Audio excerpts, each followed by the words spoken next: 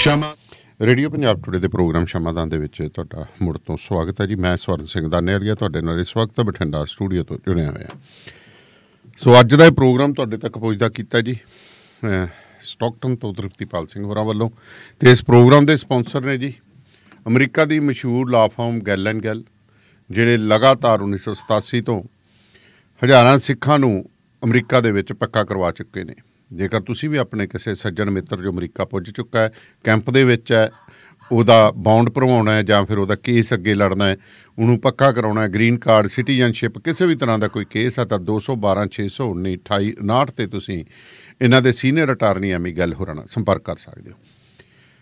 ਜੇਕਰ ਤੁਹਾਡਾ ਇੰਡੀਆ 'ਚ ਬਿਜ਼ਨਸ ਵੀ ਹੈ, ਤਾਂ ਤੁਸੀਂ ਅਮਰੀਕਾ ਸਮੇਤ ਪਰਿਵਾਰ ਜਾਣਾ ਚਾਹੁੰਦੇ ਹੋ ਜਾਂ ਪੰਜਾਬੀ ਦੇ ਵਿੱਚ ਕਿਸੇ ਵੀ ਬੈਂਕ ਸੰਬੰਧਤ ਇਮੀਗ੍ਰੇਸ਼ਨ ਦੇ ਤੁਸੀਂ ਕਾਲ ਕਰਨੀ ਹੈ, ਤਾਂ ਇਹਨਾਂ ਦੇ chief immigration consultant Rajveer Singh ਹੋਰਾਂ ਨਾਲ WhatsApp ਦੇ ਉੱਤੇ ਸੁਨੇਹਾ ਛੱਡ ਦਿਆ ਕਰੋ, ਆਪਣੇ ਕਾਲ ਬੈਕ ਕਰ ਲੈਣਗੇ +1 7186121188 ਤੇ ਕਾਲ ਕਰ ਲਓ।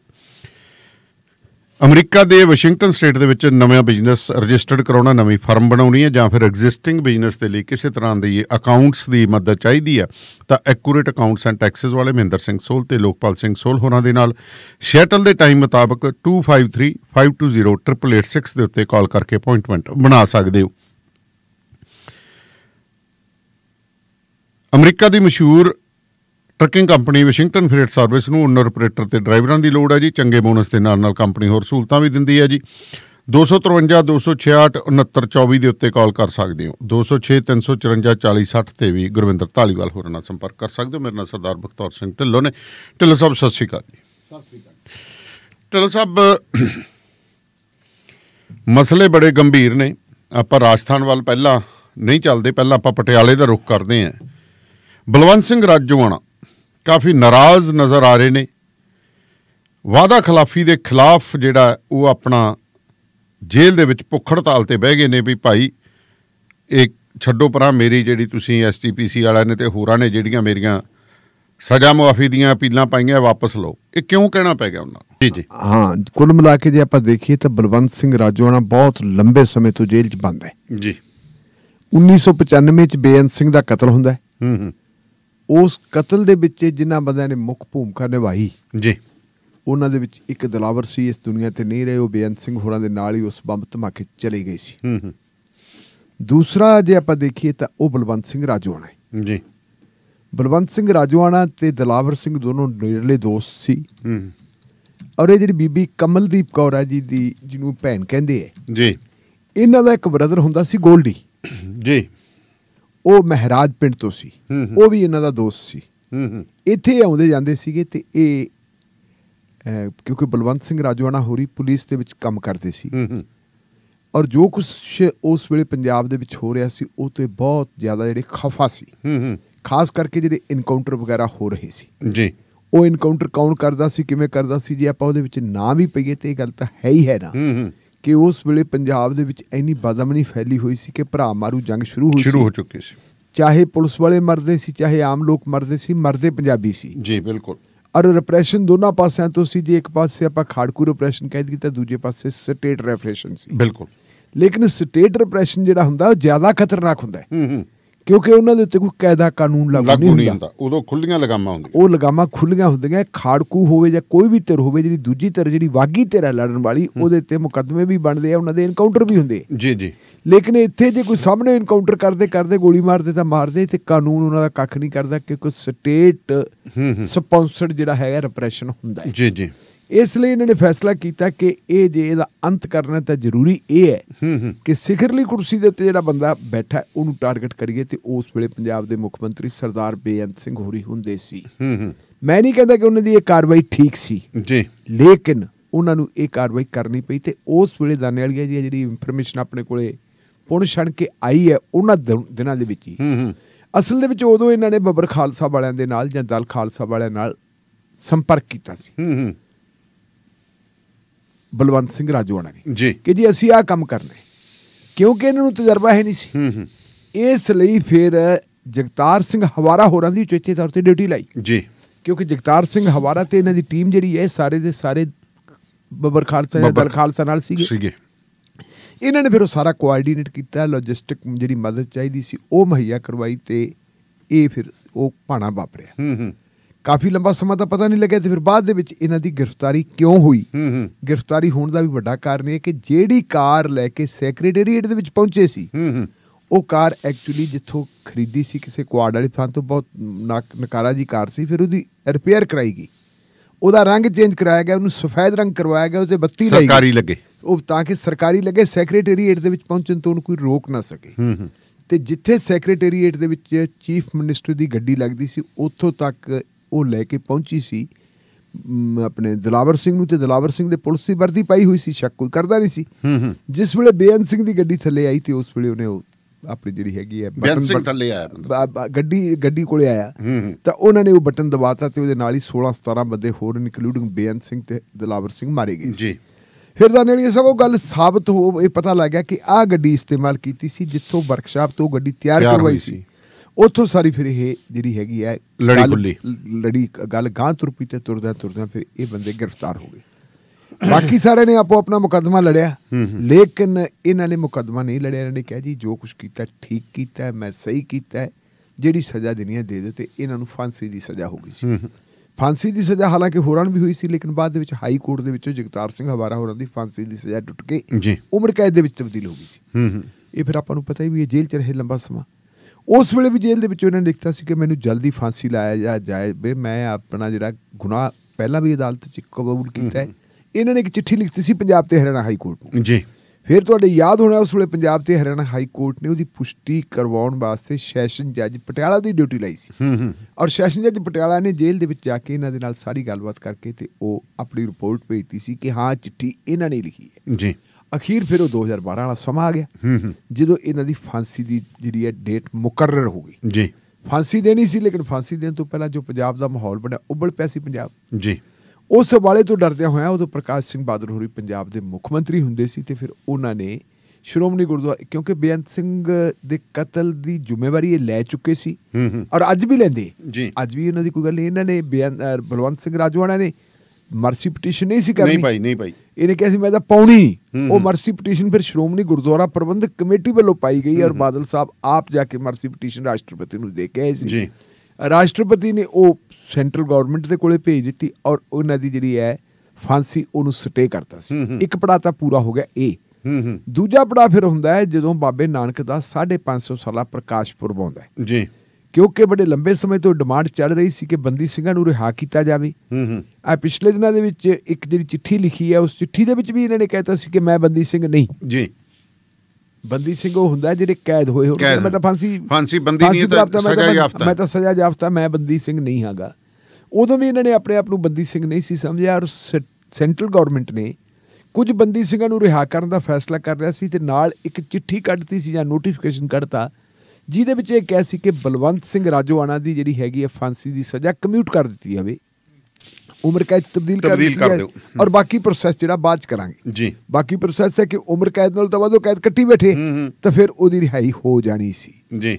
ਦਾਨੇ ਵਾਲੀ ਹੈ ਜੀ ਇਹ 2012 ਦੀ ਕਹਾਣੀ ਹੈ ਤੇ ਹੁਣ ਆਪਾਂ 2023 ਚ ਆ 23 ਗਏ। ਚ ਆ ਗਏ। 2023 ਤੋਂ ਲੈ ਕੇ ਗੱਲ ਉੱਥੇ ਦੀ ਉੱਥੇ ਖੜੀ ਉੱਥੇ ਹੀ। ਹੈ ਖੜੀ ਆ। ਜਦੋਂ ਤੋਂ ਉਹਨਾਂ ਨੂੰ ਫਾਂਸੀ ਦੀ ਸਜ਼ਾ ਹੋਈ ਹੈ 2019 ਦੇ ਵਿੱਚ ਆ ਕੇ ਫਿਰ ਇਹ ਗੱਲ ਹੋ ਗਈ ਸੀ ਲਓ ਜੀ ਆਪਾਂ ਸਜ਼ਾ ਇਹਨਾਂ ਦੀ ਮਾਫ ਕਰ ਦਿਆਂਗੇ ਜਾਂ ਇਹਨਾਂ ਦੀ ਉਮਰ ਕੈਦ ਦੇ ਵਿੱਚ ਤਬਦੀਲ ਹੋ ਜੂ ਗੱਲ ਉੱਥੇ ਹੀ ਖੜੀ ਹੈ। ਬੰਦਾ ਅੱਕਿਆ ਪਿਆ ਕਰੇ ਤਾਂ ਕਰੇ ਕੀ? ਜੀ। ਵੀ ਯਾਰ ਨਾ ਇਹ ਪਾਸਾ ਨਾ ਉਹ ਪਾਸਾ ਜਵਾਨੀ ਦੇ ਵਿੱਚ ਉਹ ਅੰਦਰ ਗਏ ਸੀ ਤੇ ਇਸ ਵੇਲੇ ਬਲਵੰਤ ਸਿੰਘ ਰਾਜੋਆਣਾ ਬਜ਼ੁਰਗ ਹੋ ਚੁੱਕੇ ਹੈ। ਔਰ ਉਹਨਾਂ ਨੇ ਇਹ ਗੱਲ ਕਹਿ ਦਿੱਤੀ ਕਿ ਭਾਈ ਫਿਰ ਮੈਂ ਤਾਂ ਜਿਹੜਾ ਹੈਗਾ ਆਪਣੀ ਜਿਹੜਾ ਹੈਗਾ ਜੀਵਨ ਲੀਲਾ ਖਤਮ ਹੀ। ਕਰਨੀ ਚਾਹੁੰਦਾ ਤੇ। ਆ ਜਿਹੜੀ ਮੇਰੀ ਅਪੀਲ ਹੈ ਵਾਪਸ ਲੈ ਲਈ ਜਾਵੇ। ਹੂੰ। ਚਿੱਠੀ ਲਿਖੀ ਉਹਨਾਂ ਨੇ ਅਕਾਲ ਤਖਤ ਸਾਹਿਬ ਦੇ ਜਥੇਦਾਰ ਸਾਹਿਬ ਨੂੰ ਕਿ ਜਥੇਦਾਰ ਸਾਹਿਬ ਤੁਸੀਂ ਸ਼੍ਰੋਮਣੀ ਗੁਰਦੁਆਰਾ ਪ੍ਰਬੰਧਕ ਕਮੇਟੀ ਨੂੰ ਹਦਾਇਤ ਦਿਓ। ਜੀ। ਜਥੇਦਾਰ ਸਾਹਿਬ ਨੇ ਸ਼੍ਰੋਮਣੀ ਗੁਰਦੁਆਰਾ ਪ੍ਰਬੰਧਕ ਕਮੇਟੀ ਨੂੰ ਕਿਹਾ ਕਿ ਤੁਸੀਂ ਕੁਝ ਕਰੋ। ਇਹਨਾਂ ਨੇ ਇੱਕ ਮੀਟਿੰਗ ਕਰ ਲਈ। ਮੀਟਿੰਗ ਕਰਨ ਤੋਂ ਬਾਅਦ ਫਿਰ ਇਹ ਰਾਜਵਾਨਾ ਸਾਹਿਬ ਨੂੰ ਮਿਲ ਵੀ ਆਏ। ਰਾਜਵਾਨਾ ਸਾਹਿਬ ਨੇ ਪਹਿਲਾਂ ਕਿਹਾ ਸੀ ਕਿ 1 ਦਸੰਬਰ ਤੋਂ ਮੈਂ ਆਪਣੀ ਜਿਹੜੀ ਹੈਗੀ ਹੈ ਭੁੱਖ ਹੜਤਾਲ ਸ਼ੁਰੂ ਕਰੂੰਗਾ। ਜੀ। ਇਹਨਾਂ ਦੇ ਜਾਣ ਦੇ ਉੱਤੇ ਇੰਨਾ ਗੱਲ ਹੋਈ ਕਿ ਉਹਨਾਂ ਨੇ ਗੱਲ 5 ਤਾਰੀਖ ਦੀ ਕਰਤੀ। ਹੂੰ ਹੂੰ। 5 ਤੋਂ ਬਾਅਦ ਫਿਰ ਇਹ ਗੱਲ ਆ ਕਿ ਦੋ ਬੰਦਿਆਂ ਦੀ ਹੋਰ ਡਿਊਟੀ ਲਾਤੀ ਕਿ ਤੁਸੀਂ ਜਾਓ ਜੀ ਗੱਲ। ਕਰੋ। ਤੇ ਉਹਨਾਂ ਦੇ ਵਿੱਚ ਇੱਕ ਬਿਕਰਮ ਸਿੰਘ ਮਜੀਠੀਆ ਤੇ ਦੂਜਾ ਬਿਰਸਾ ਸਿੰਘ ਬਲਟੋਹਾ ਉਹ ਗਏ। ਹੂੰ ਹੂੰ। ਦਾਵਾ ਤਾਂ ਉਹ ਹੀ ਕਰਦੇ ਕਿ ਜੀ ਸਾਨੂੰ ਤਾਂ ਮਨਜ਼ੂਰੀ ਦਿੱਤੀ ਸੀਗੀ ਏਡੀਜੀਪੀ ਨੇ। ਹੂੰ ਹੂੰ। ਲੇਕਿਨ ਸੁਪਰਡੈਂਟ ਕੇਂਦਰੀ ਜੇਲ੍ਹ ਪਟਿਆਲਾ ਵੱਲੋਂ ਕਹਿਣਾ ਹੈ ਕਿ ਕੋਈ ਮਨਜ਼ੂਰੀ ਦਿੱਤੀ ਨਹੀਂ ਉਹਨੇ ਤਾਂ ਚਿੱਠੀ ਰੈਫਰ ਕਰਤੀ। ਰੈਫਰ ਕਰਤੀ ਹਾਂ। ਉਹ ਰੈਫਰ ਕਰਤੀ ਉਹਨਾਂ ਨੇ ਕਿਹਾ ਵੀ ਅਕਾਰਡਿੰਗ ਟੂ ਜਿਹੜੇ ਨਿਯਮ ਲਾਅ ਉਹਦੇ ਮੁਤਾਬਕ ਗੱਲ ਕਰੋ। ਨਿਯਮ ਅਲਾਉ ਨਹੀਂ ਕਰਦੇ ਸੀ ਉਹਨਾਂ ਨੇ ਇਜਾਜ਼ਤ ਨਹੀਂ ਦਿੱਤੀ।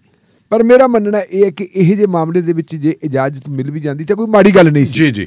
ਕਿਉਂਕਿ ਇਹ ਤੋਂ ਬਾਅਦ ਪੰਜਾਬ ਦੀ ਜਿਹੜੀ ਸਿਚੁਏਸ਼ਨ ਹੈ ਉਹ ਕਿੰਨੀ ਜ਼ਿਆਦਾ ਖਰਾਬ ਹੋ ਸਕਦੀ ਹੈ। ਆਪਾਂ ਨੂੰ ਇਹਦਾ ਅੰਦਾਜ਼ਾ ਹੁਣੇ ਲਾ ਲੈਣਾ ਚਾਹੀਦਾ ਹੈ। ਜੀ। ਥੋੜੀ ਬਹੁਤੀ ਰਿਆਇਤ ਦੇ ਦਿੰਦੇ ਤਾਂ ਸ਼ਾਇਦ ਗੱਲ ਜਿਹੜੀ ਹੈਗੀ ਹੈ ਡਿਫਿਊਜ਼ ਹੋ ਜਾਂਦੀ। ਇਹ ਜਿਹੜੀ ਹੈਗੀ ਉਹ ਜੋ ਗੁੱਬ ਘਬਾਟ ਆ ਉਹ ਨਿਕਲ ਜਾਂਦਾ ਤੇ ਸ਼ਾਇਦ ਉਹ ਕੁਝ ਸੋਚ ਲੈਂਦੇ। ਚਲੋ ਉਹ ਗੱਲ ਹੋਈ ਨਿਬੜੀ ਹੁਣ ਉਹਨਾਂ ਨੇ ਜੀ ਕੱਲ ਤੋਂ ਫਿਰ ਜਿਹੜੀ ਹੈਗੀ ਆਪਣੀ ਭੁੱਖ ਹੜਤਾਲ ਸ਼ੁਰੂ ਕਰਤੀ ਹੈ। ਕੱਲ ਭੁੱਖ ਹੜਤਾਲ ਸ਼ੁਰੂ ਕਰਤੀ ਹੈ ਤੇ ਫਿਰ ਅਕਾਲ ਤਖਤ ਸਾਹਿਬ ਦੇ ਜਥੇਦਾਰ ਸਾਹਿਬ ਨੇ ਵੀ ਨੋਟਿਸ ਲਿਆ ਤੇ ਅੱਜ ਮੈਨੂੰ ਨਹੀਂ ਪਤਾ ਅਜੇ ਤੱਕ ਕੀ ਖਬਰ ਆਪਣੇ ਕੋਲੇ ਅਜੇ ਤੱਕ ਆਈ ਨਹੀਂ ਪੂਰੀ।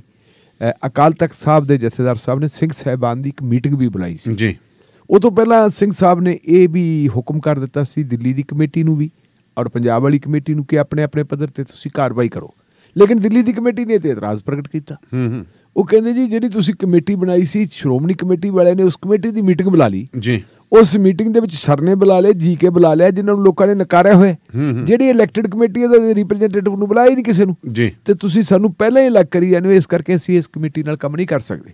ਪਰ ਅਸੀਂ ਆਪਣੇ ਪੱਧਰ ਤੇ ਜਿਹੜੀ ਹੈਗੀ ਆ ਰਾਜੋਣਾ ਸਾਹਿਬ ਨੂੰ ਛਡਾਉਣ ਦੀ ਗੱਲ ਕਰਦੇ ਆ ਉਹਨਾਂ ਦੀ ਫਾਂਸੀ ਦੀ ਸਜ਼ਾ ਤੁਰਵਾਉਣ ਦੀ ਗੱਲ ਕਰਦੇ ਆ ਕਹਿੰਦੇ ਅਸੀਂ ਪ੍ਰੈਜ਼ੀਡੈਂਟ ਤੋਂ ਵੀ ਟਾਈਮ ਮੰਗਿਆ ਤੇ ਗ੍ਰਹਿ ਮੰਤਰੀ ਤੋਂ ਵੀ ਟਾਈਮ ਮੰਗਿਆ।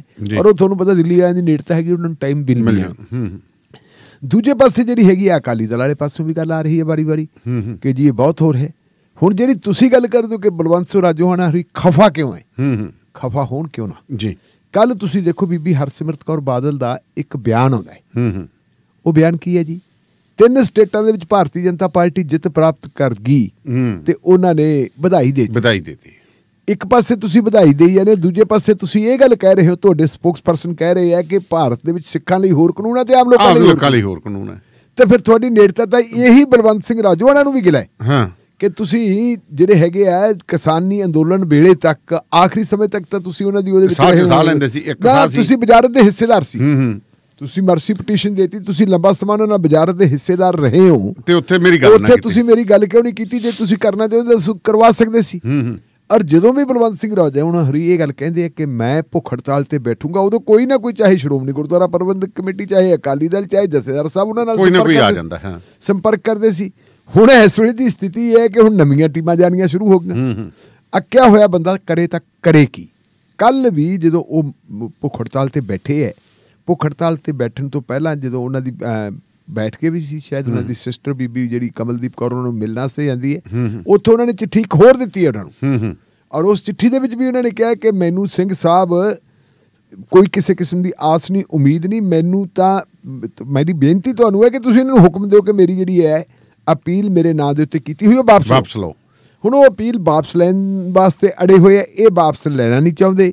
ਇਹ ਗੱਲ ਨੂੰ ਗਾਂ ਵੀ ਨਹੀਂ ਤੋੜਨੀ ਚਾਹੁੰਦੇ। ਹੁਣ ਅਗਲੀ ਗੱਲ ਨੇ ਕਹਿੰਦੇ ਕਹਿੰਦੇ ਜੀ 20 ਦਸੰਬਰ ਨੂੰ ਅਸੀਂ ਜਾਵਾਂਗੇ। ਰਾਸ਼ਟਰਪਤੀ ਨੂੰ ਤੇ ਗ੍ਰਹਿ ਮੰਤਰੀ ਨੂੰ ਜਾਂ ਕੇਂਦਰ ਸਰਕਾਰ ਨੂੰ ਮਿਲਣ ਵਾਸਤੇ ਉੱਥੇ ਕਹਿੰਦੇ ਗੁਰਦੁਆਰਾ ਸਾਹਿਬ 'ਚ ਇਕੱਠੇ ਹੋਵਾਂਗੇ। ਉੱਥੋਂ ਫਿਰ ਅਸੀਂ ਸਿਰ ਦੇ ਉੱਤੇ ਨਾ ਪੰਡਾ ਬੰਨ ਕੇ ਰੱਖਾਂਗੇ ਜਿਹੜੇ ਉਹ 40 45 ਲੱਖ ਕਿ 26 ਲੱਖ ਕਹਿੰਦੇ ਜਿਹੜੇ ਦਸਤਖਤ ਉਹ ਵੀ ਕਰਾਏ ਇੱਕ ਆ। ਇਹਨਾਂ ਨੇ ਬਣਾ ਲਿਆ ਏਜੰਡਾ ਹੀ। ਉਹ ਉਹ ਕਹਿੰਦੇ ਕਾਗਜ਼ ਲੈ ਕੇ ਅਸੀਂ ਜਾਵਾਂਗੇ ਉਹਨਾਂ ਦੇ ਕੋਲੇ। ਹੁਣ ਦਾਨੇਵਾਲੀਆ ਸਾਹਿਬ ਮੇਰੀ ਗੱਲ ਸੁਣੋ ਅੱਜ ਦੇ ਜ਼ਮਾਨੇ 'ਚ ਇਹ ਠੀਕ ਹੈ ਸ਼੍ਰੋਮਣੀ ਕਮੇਟੀ ਨੂੰ ਟਾਈਮ ਨਹੀਂ ਮਿਲਦਾ। ਜੇ ਟਾਈਮ ਲੈਣਾ ਹੋਵੇ ਕੀ ਨਹੀਂ ਮਿਲਦਾ? ਸੁਖਬੀਰ ਸਿੰਘ ਬਾਦਲ ਵਾਸਤੇ ਕੀ ਮੁਸ਼ਕਲ? ਕੀ ਮੁਸ਼ਕਲ ਹੈ?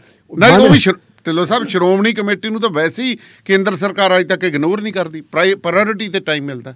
And with in few minutes ਪਰ ਸ਼੍ਰੋਮਣੀ ਕਮੇਟੀ ਵਾਲੇ ਕਹਿ ਦਿੰਦੇ ਜੀ ਸਾਨੂੰ ਤਾਂ ਕੋਈ ਬੁਲਾਉਂਦਾ ਹੀ ਨਹੀਂ, ਸਾਨੂੰ ਤਾਂ ਕੋਈ ਗੱਲ ਨਹੀਂ। ਕਰਦਾ। ਮੈਨੂੰ ਤਾਂ ਨਹੀਂ ਗੱਲ- ਜੇ ਸੰਜੀਦਾ ਯਤਨ ਕੀਤੇ ਜਾਣੇ ਕਿਵੇਂ ਹੋ ਸਕਦੇ? ਜੇ ਸੰਜੀਦਾ ਯਤਨ ਕੀਤੇ ਜਾਣ ਤਾਂ ਮੇਰਾ ਮੇਰਾ ਮੰਨਣਾ ਹੈ। ਜੀ। ਜਾਨੇੜੀ ਸਭ ਚਲੋ ਮੈਂ ਕਿ ਇਹਨਾਂ ਨੂੰ ਦੱਸ ਦਿੰਦਾ ਇਹਨਾਂ ਦੇ ਕੋਲ ਇੱਕ ਵਿਚਾਲੜੀ ਕੜੀ ਹੈਗੀ। ਕੀ ਜਿਹੜੇ ਮਨਜਿੰਦਰ ਸਿੰਘ ਸਿਰਸਾ ਹੈ ਉਹ ਨਹੀਂ ਰੋਲ ਨਿਭਾ ਸਕਦਾ। ਉਹ ਉਹ ਉਹ ਉਹਨਾਂ ਦੀ ਅੱਜ ਨੇੜਤਾ ਹੈ ਨਹੀਂ। ਹੈਗੀ ਹੈ ਭਾਵੇਂ ਉਹ ਅਕਾਲੀ ਦਲ ਛੱਡ ਕੇ ਭਾਰਤੀ ਜਨਤਾ ਪਾਰਟੀ ਚਲੇ ਗਏ ਲੇਕਿਨ ਸਰਦਾਰ ਸੁਖਬੀਰ ਸਿੰਘ ਬਾਦਲ ਦੀ ਇੱਜ਼ਤ ਮਾਨ ਸਤਕਾਰ ਉਹ ਪਹਿਲਾਂ ਹੀ ਕਰਦੇ ਉਨਾ ਹੀ ਕਰਦੇ ਜਦੋਂ ਤੁਸੀਂ ਦੇਖੋ ਸਰਦਾਰ ਪ੍ਰਕਾਸ਼ ਸਿੰਘ ਬਾਦਲ ਦੀ ਮੌਤ ਹੁੰਦੀ ਹੈ ਉਸ ਵੇਲੇ ਵੀ ਉਹ ਆਏ ਤੇ ਉਹਨਾਂ ਨੇ ਆਖਿਆ ਮੇਰੇ ਇਹਨਾਂ ਦੇ ਨਾਲ ਬਹੁਤ ਨੇੜਲੇ ਤਾਲੁਕਾਤ ਤੁਸੀਂ ਜੇ ਕਿਸੇ ਨਾਲ ਗੱਲ ਕਰਨੀ ਹੋਵੇ ਬਾਕੀ ਛੱਡ ਦਿਓ। ਰਾਜਨਾਥ ਸਿੰਘ ਰਾਹੀਂ ਗੱਲ ਕੀਤੀ ਜਾ। ਸਕਦੀ ਹੈ। ਗੜਕਰੀ ਰਾਹੀਂ ਗੱਲ ਕੀਤੀ ਜਾ ਸਕਦੀ ਹੈ। ਯਾਰ ਹੋਰ ਕੁਝ ਨਹੀਂ ਤਾਂ ਆਰਐਸਐਸ ਵਾਲਿਆਂ ਕੋਲ ਹੀ ਚਲੇ ਜਾਓ ਆਰਐਸਐਸ ਵਾਲਿਆਂ ਕੋਲ ਹੀ ਜਾ ਵੜੋ ਹਾਂ ਉਹ ਤਾਂ ਉਹ ਤਾਂ ਨਹੀਂ ਤੁਹਾਨੂੰ ਜਵਾਬ ਦਿੰਦੇ ਉੱਥੇ ਵੀ ਚਲੇ ਜਾਓ ਤੁਸੀਂ ਜਾ ਕੇ ਜੇ ਚਾਹੋ ਤਾਂ ਕਿਉਂ ਨਹੀਂ ਹੋ ਸਕਦੀ ਗੱਲ। ਪਰ ਗੱਲ ਇਹ ਹੈ ਕਿ ਨਾ ਜਿਉਂਦਿਆਂ ਚ ਨਾ ਮਰਦਿਆਂ ਚ ਉਹ ਜਿਸ ਢੰਗ ਨਾਲ ਜਿੱਥੇ ਉਹ ਰੱਖਿਆ ਹੋਇਆ ਇੱਕ ਸਿਲਸਿਲਾ। ਮੇਰਾ ਖਿਆਲ ਉਹ ਵੀ ਇੱਕ ਜਿਹੜੀ ਹੈਗੀ ਹੈ ਮਤਲਬ ਉਹ ਵੀ ਇੱਕ ਬੰਦੇ ਨੂੰ ਨਾ ਜਿਉਣ ਦੇਣਾ, ਨਾ ਮਰਨ ਦੇਣਾ। ਜਿਉਂਦਿਆਂ ਚ ਨਾ ਮਰਦਿਆਂ ਦੇ ਵਿੱਚ ਹੁਣ ਇਹ ਗੱਲ ਇਹ ਵੀ ਢਿੱਲੋਂ ਸਾਹਿਬ ਮੈਨੂੰ ਅੰਦਰੋਂ ਇੱਕ ਬਹੁਤ ਤਕੜੀ ਖਬਰ ਮਿਲੀ ਹੈ ਉਹ ਕਹਿੰਦੇ। ਵੀ ਜਿਹੜੇ ਜਥੇਦਾਰ ਸਾਹਿਬ ਤਾਂ ਹੁਣ ਮਿਹਣਿਆਂ ਤੇ ਵੀ ਆ ਗਏ ਅੱਛਾ ਜੀ ਉਹ ਕਹਿੰਦੇ ਵੀ ਬਾਈ ਜਿਹੜੇ ਪਹਿਲਾਂ ਮੇਰੇ ਨਾਲ ਵਾਅਦੇ ਕਰਕੇ ਗਏ ਨਾ ਉਹਨਾਂ ਨੂੰ ਵੀ ਹੁਣ ਜਦੋਂ ਮਿਲਣਾ ਹੈ ਨਾ ਨਾਲ ਹੀ ਲਈ ਆਇਓ। ਤੇ ਮੈਂ ਕਹਿੰਦੇ ਉਹਨਾਂ ਨੂੰ ਵੀ ਚਾਰ ਸਵਾਲ ਕਰ ਹੀ ਲਵਾਂ। ਨਹੀਂ ਵੈਸੇ ਆਪਾਂ ਮਿਹਨੇ ਵਾਲੀ ਨਹੀਂ ਗੱਲ ਕਹਿ ਸਕਦੇ ਇਹ ਉਹਨਾਂ ਦਾ ਦਰਦ ਹੈ। ਦਾ- ਅੰਦਰਲਾ। ਅੰਦਰਲਾ ਹਾਂ। ਦਾਨੇਵਾਲੀਆ ਸਾਹਿਬ ਆਪਾਂ ਇੱਥੇ ਬੈਠੇ ਆ ਹਾਂ ਹਾਂ। ਆਪਾਂ ਨੂੰ ਖਾਣ ਪੀਣ ਨੂੰ ਕੋਈ ਕਮੀ ਨਹੀਂ ਆਪਣੇ ਬੰਦੇ ਲਈ ਨਹੀਂ ਆਉਣਗੇ। ਸੋਹਣਾ ਕਸਰਤ ਕਰਦੇ ਆ ਸਾਰਾ ਕੁਝ ਨਹੀਂ ਨਹੀਂ ਕਰਦੇ ਨਹੀਂ ਆ। ਆਪਾਂ ਹੁਣ ਆਪਾਂ ਨੂੰ ਇੱਥੇ ਅੰਦਰ ਬਹਾ ਦੇਣ ਵੀ ਤੁਸੀਂ ਬਹਿ ਜਾਓ ਤੁਹਾਨੂੰ ਖਾਣ ਪੀਣ ਵਾਸਤੇ ਸਭ ਕੁਝ ਦੇਵਾਂਗੇ ਟੈਲੀਵਿਜ਼ਨ ਵੀ ਲਾ ਲਓ ਸਾਰਾ ਕੁਝ ਹੋ ਲਓ ਹੂੰ ਹੂੰ। ਲੇਕਿਨ ਜਦੋਂ ਆਪਾਂ ਨੂੰ ਬਾਹਰ ਦੀ ਧੁੱਪਣਾ ਨਾ ਦਿਸੇ। ਇਹ ਉਦੋਂ ਸਥਿਤੀ ਹੈ ਜਿਹੜੇ ਬੰਦਿਆਂ ਨੇ ਜੇਲ੍ਹਾਂ ਦੇਖੀਆਂ ਕੈਦਾਂ ਕੱਟੀਆਂ ਵੀ ਹੈ ਜ਼ਿੰਦਗੀ ਦਾ ਵੱਡਾ ਹਿੱਸਾ ਜੇਲ੍ਹ ਦੇ ਵਿੱਚ ਮਤਲਬ ਜਿਹੜਾ ਬੇਅਰਥ ਜੇ ਤਾਂ ਬੰਦੇ ਨੂੰ ਫਾਂਸੀ ਲੱਗ ਜੇ ਤਾਂ ਮਾਮਲਾ ਕੁਰਬਾਨੀ ਚ। ਕੁਰਬਾਨੀ ਚ। ਹੁਣ ਉਹ ਨਾ ਉਧਰ ਚਾਹੇ ਨਾ ਉਧਰ ਜਿਹੜਾ ਬੇਅਰਥ ਜਿਹੜੀ ਹੈਗੀ ਹੈ ਜ਼ਿੰਦਗੀ ਇੱਕ ਬਸਰ ਕਰੀ ਜਾਨੀ ਉੱਥੇ ਬੁਢਾਪਾ ਆ ਗਿਆ ਉਹਦੇ ਬਾਰੇ ਚ ਕਿਉਂਕਿ ਕਾਲ ਕੋਠੜੀ ਦੇ ਵਿੱਚ ਜਿਹੜਾ ਰਹਿਣਾ ਇਹ ਛੋਟੀ ਗੱਲ ਨਹੀਂ ਹੁੰਦੀ ਬਹੁਤ ਵੱਡੀ। ਬਹੁਤ ਵੱਡੀ ਗੱਲ ਹੈ ਐਡਾ ਸੰਤਾਪ ਹੰਡਾਉਣਾ ਡਬਲ ਡਬਲ ਟ੍ਰਿਪਲ ਜਿਹੜੀ ਚੀਜ਼ ਜਿਹੜੇ ਕਾਜ਼ਲੀ ਬੰਦੇ ਨੇ ਕੀਤਾ ਜਰਨਲ ਕਮਿਊਨਿਟੀ ਦਾ ਦਰਦ ਸਮਝਦੇ ਹੋਏ ਆਪਣੇ ਆਪ ਨੂੰ ਜਿੰਦਾ ਸ਼ਹੀਦ ਬਣਿਆ ਅੱਜ ਉਸ ਜਿੰਦੇ ਸ਼ਹੀਦ ਨੂੰ ਤੁਸੀਂ ਤਮਾਸ਼ਾ ਬਣਾ ਕੇ ਰੱਖਿਆ। ਦਾਨੇਲੀਆ ਸਾਹਿਬ ਇੱਥੇ ਮੈਂ ਮੈਂ ਕਹੂੰਗਾ ਵੀ ਇੱਕ ਗਲਤੀ ਬਲਵੰਤ ਸੁਰਾਜਵਾਣਾ ਤੋਂ ਵੀ ਹੋਈ ਹੈ। ਜਦੋਂ ਉਹਨਾਂ ਨੇ ਆਪਣੇ ਆਪ ਨੂੰ ਅਕਾਲੀ ਦਲ ਨਾਲ ਜੋੜ ਲਿਆ ਹਾਂ। ਜਦੋਂ ਉਹਨਾਂ ਦੀ 2012 ਦੇ ਵਿੱਚ ਡੇਟ ਫਿਕਸ ਹੋਈ ਹੈ ਜੀ। ਉਦੋਂ ਕਿਸੇ ਪਾਰਟੀ ਨਾਲ ਸੰਬੰਧ ਨਹੀਂ ਸੀ। ਉਹ ਸਿੱਖ ਕਾਜ ਦੇ ਹੀਰੋ ਮੰਨੇ ਗਏ ਸੀ ਔਰ ਸਾਰਾ ਸਿੱਖ ਭਾਈਚਾਰਾ ਉਹਨਾਂ ਦੇ ਹੱਕ ਵਿੱਚ ਖੜਾ ਹੋ ਗਿਆ ਸੀ। ਲੇਕਿਨ ਜਦੋਂ ਇੱਕ ਭੋਗ ਦੇ ਉੱਤੇ ਆਏ ਸੀ ਤੇ ਉਹਨਾਂ ਨੇ ਆ ਕੇ ਐਲਾਨ ਕਰਤਾ ਸੀ ਮੈਂ ਅਕਾਲੀ ਰਹੂੰਗਾ। ਅਕਾਲੀ ਰਹੂੰਗਾ ਅਕਾਲੀ ਸੀ। ਜਦੋਂ ਉਹਨਾਂ ਨੇ ਇਹ ਗੱਲਾਂ ਕਹਿਤੀਆਂ ਆ ਕੇ ਤੇ ਅਕਾਲੀ ਦਲ ਨਾਲ ਜੋੜ ਲਿਆ ਤੇ ਦੂਜੀ ਉਹਨਾਂ ਨੇ ਬਲੰਡਰ ਉਦੋਂ ਕੀਤੀ ਮੈਂ ਸਮਝਦਾ। ਜਦੋਂ ਉਹਨਾਂ ਨੇ ਬੀਬੀ ਕਮਲਦੀਪ ਕੌਰ ਨੂੰ ਇਹ ਇਜਾਜ਼ਤ ਦਿੱਤੀ ਕਿ ਤੁਸੀਂ ਅਕਾਲੀ ਦਲ ਦੀ ਟਿਕਟ ਤੇ ਚੋਣ ਲੜ ਲਓ। ਔਰ ਚੋਣ ਲੜਨ ਤੋਂ ਤੁਸੀਂ ਦੇਖੋ ਕਿ ਜਿੱਥੇ ਉਹਨਾਂ ਦੀ ਜਿਹੜਾ ਪਹੁੰਚ ਗਈ ਸੀ ਜਿੱਥੇ ਉਹਨਾਂ ਦੀ ਉੱਪਰਲੇ ਪਾਸੇ ਸਿਖਰ ਤੇ। ਹਾਂਜੀ। ਉੱਥੋਂ ਜਦੋਂ ਇਲੈਕਸ਼ਨ ਦੇ ਵਿੱਚ ਆਪਾਂ ਰਿਜ਼ਲਟ ਦੇਖੀਏ ਤੇ ਸਭ ਤੋਂ ਥੱਲੇ ਵੋਟਾਂ ਤਾਂ ਫਿਰ ਬੀਜੇਪੀ ਨਾਲ ਵੀ ਘੱਟ। ਬੀਜੇਪੀ ਨਾਲ ਵੀ ਘੱਟ। ਜੇ ਬੀਜੇਪੀ ਨਾਲ ਵੀ ਘੱਟ ਵੋਟਾਂ ਪਈਆਂ ਤੇ ਉਹਦੇ ਨਾਲ ਵੀ ਉਹਨਾਂ ਦੀ ਇੱਜ਼ਤ ਦੇ ਵਿੱਚ ਕੋਈ ਵਾਧਾ ਨਹੀਂ ਵਾਧਾ ਨਹੀਂ ਹੋਇਆ, ਮੈਂ ਇਹ ਨਹੀਂ। ਕਹਿੰਦਾ ਘਟੀ ਹੈ ਵੀ ਵਾਧਾ ਨਹੀਂ ਹੋਇਆ। ਉਹਦੇ ਨਾਲ ਇਹ ਵੀ ਥੋੜਾ ਜਿਹਾ ਕਿਉਂਕਿ ਅੱਗੇ ਸਾਰੇ ਕੌਮ ਦੇ ਸਾਰੇ ਸਿੱਖਾਂ ਦੇ ਮਤਲਬ ਜਿਹੜੇ ਸਾਂਝੇ ਸੀ। ਜਦੋਂ ਉਹਨਾਂ ਨੇ ਆਪਣੇ ਆਪ ਨੂੰ ਅਕਾਲੀ ਦਲ ਨਾਲ ਜੋੜ ਲਿਆ ਤੇ ਹੁਣ ਉਹ ਇੱਕ ਧੜੇ ਦੇ ਬਣ ਕੇ ਰਹਿ ਗਏ। ਤੇ ਧੜਾ ਉਹਨਾਂ ਦੀ ਪੁੱਛਗਿਛ ਨਹੀਂ ਕਰਦਾ ਇਸੇ ਕਰਕੇ ਉਹਨਾਂ ਦੇ ਵਿੱਚ ਉਹ ਜਿਹੜੀ ਹੈ ਨਿਰਾਸ਼ਾ ਹੈ। ਇਸੇ ਕਰਕੇ ਉਹ ਖਫਾ ਹੁੰਦੇ ਜੀ। ਚਲੋ ਸਭ ਕੀ ਇਹਦਾ ਅਕਾਲੀ ਦਲ ਨੂੰ ਫਾਇਦਾ ਹੋਊ ਜਾਂ ਨੁਕਸਾਨ ਹੋਊ ਇਹ ਵੀ ਚਰਚਾਵਾਂ ਨੇ ਕਿ ਸੁਖਵੀਰ ਸਿੰਘ ਬਾਦਲ ਜਿਹੜਾ ਪਿਛਲੇ ਸਮੇਂ ਦੇ ਵਿੱਚ ਜੋ ਵੀ ਭਾਣਾ ਵਾਪਰਿਆ ਬੇਅਦਬੀ ਦਾ ਹੋਰ ਕਹਿੰਦੇ ਇਸੇ ਦੌਰ ਦੇ ਵਿੱਚ ਹੀ ਸੁਖਵੀਰ ਸਿੰਘ ਬਾਦਲ ਵੀ ਕਿਸੇ ਟਾਈਮ ਜਿਹੜਾ ਗਲ ਦੇ ਵਿੱਚ ਪੱਲੂ ਪਾ ਕੇ ਅਕਾਲ ਤਖਤ ਸੇ ਪੇਸ਼ ਹੋ ਸਕਦੇ ਭੁੱਲਾ ਬਖਸ਼ਾਉਣ। ਉਹ ਤਾਂ ਪਹਿਲਾਂ ਵੀ ਹੋ ਚੁੱਕੇ ਜੀ। ਵੀ ਜੋ ਹੋ ਗਿਆ ਸਾਨੂੰ। ਨਹੀਂ ਦਾਨੇ ਵਾਲੀ ਸਭ ਗੱਲ ਉਹ ਨਹੀਂ ਨਾ। ਗੱਲ ਤੋਂ ਤੁਹਾਡੇ ਯਾਦ ਹੋਣਾ ਹੈ ਜਦੋਂ ਸਰਦਾਰ ਪ੍ਰਕਾਸ਼ ਸਿੰਘ ਬਾਦਲ ਮੁੱਖ ਮੰਤਰੀ ਹੁੰਦੇ ਸੀ ਉਹ ਸਮਾਂ ਯਾਦ ਕਰੋ ਸਾਰੇ ਅਕਾਲੀ ਦਲ ਦੇ ਸਾਰੇ ਲੀਡਰ ਉੱਥੇ ਗਏ ਸੀ। ਹੂੰ। ਉੱਥੇ ਜਾ ਕੇ ਪਾਠ ਵੀ ਕਰਵਾਇਆ ਸੀ ਉੱਥੇ ਖਿਮਾ ਜਾਚਨਾ ਵੀ ਕੀਤੀ ਸੀ ਉੱਥੇ ਜੁੱਤੇ ਵੀ ਸਾਫ਼ ਕੀਤੇ ਸੀ ਭਾਂਡੇ ਵੀ ਸਾਫ਼ ਕੀਤੇ ਸੀ। ਹੂੰ ਹੂੰ। ਦੇਖੋ ਸੁਖਬੀਰ ਸਿੰਘ ਬਾਦਲ ਆਪ ਪਾਲਿਸ਼ ਕਰਦਾ ਆਪਾਂ ਦੇਖਿਆ ਜੀ ਜੀ ਜੀ। ਜੁੱਤੇ ਸਾਫ਼ ਕਰਦੇ ਦੇਖੀਏ।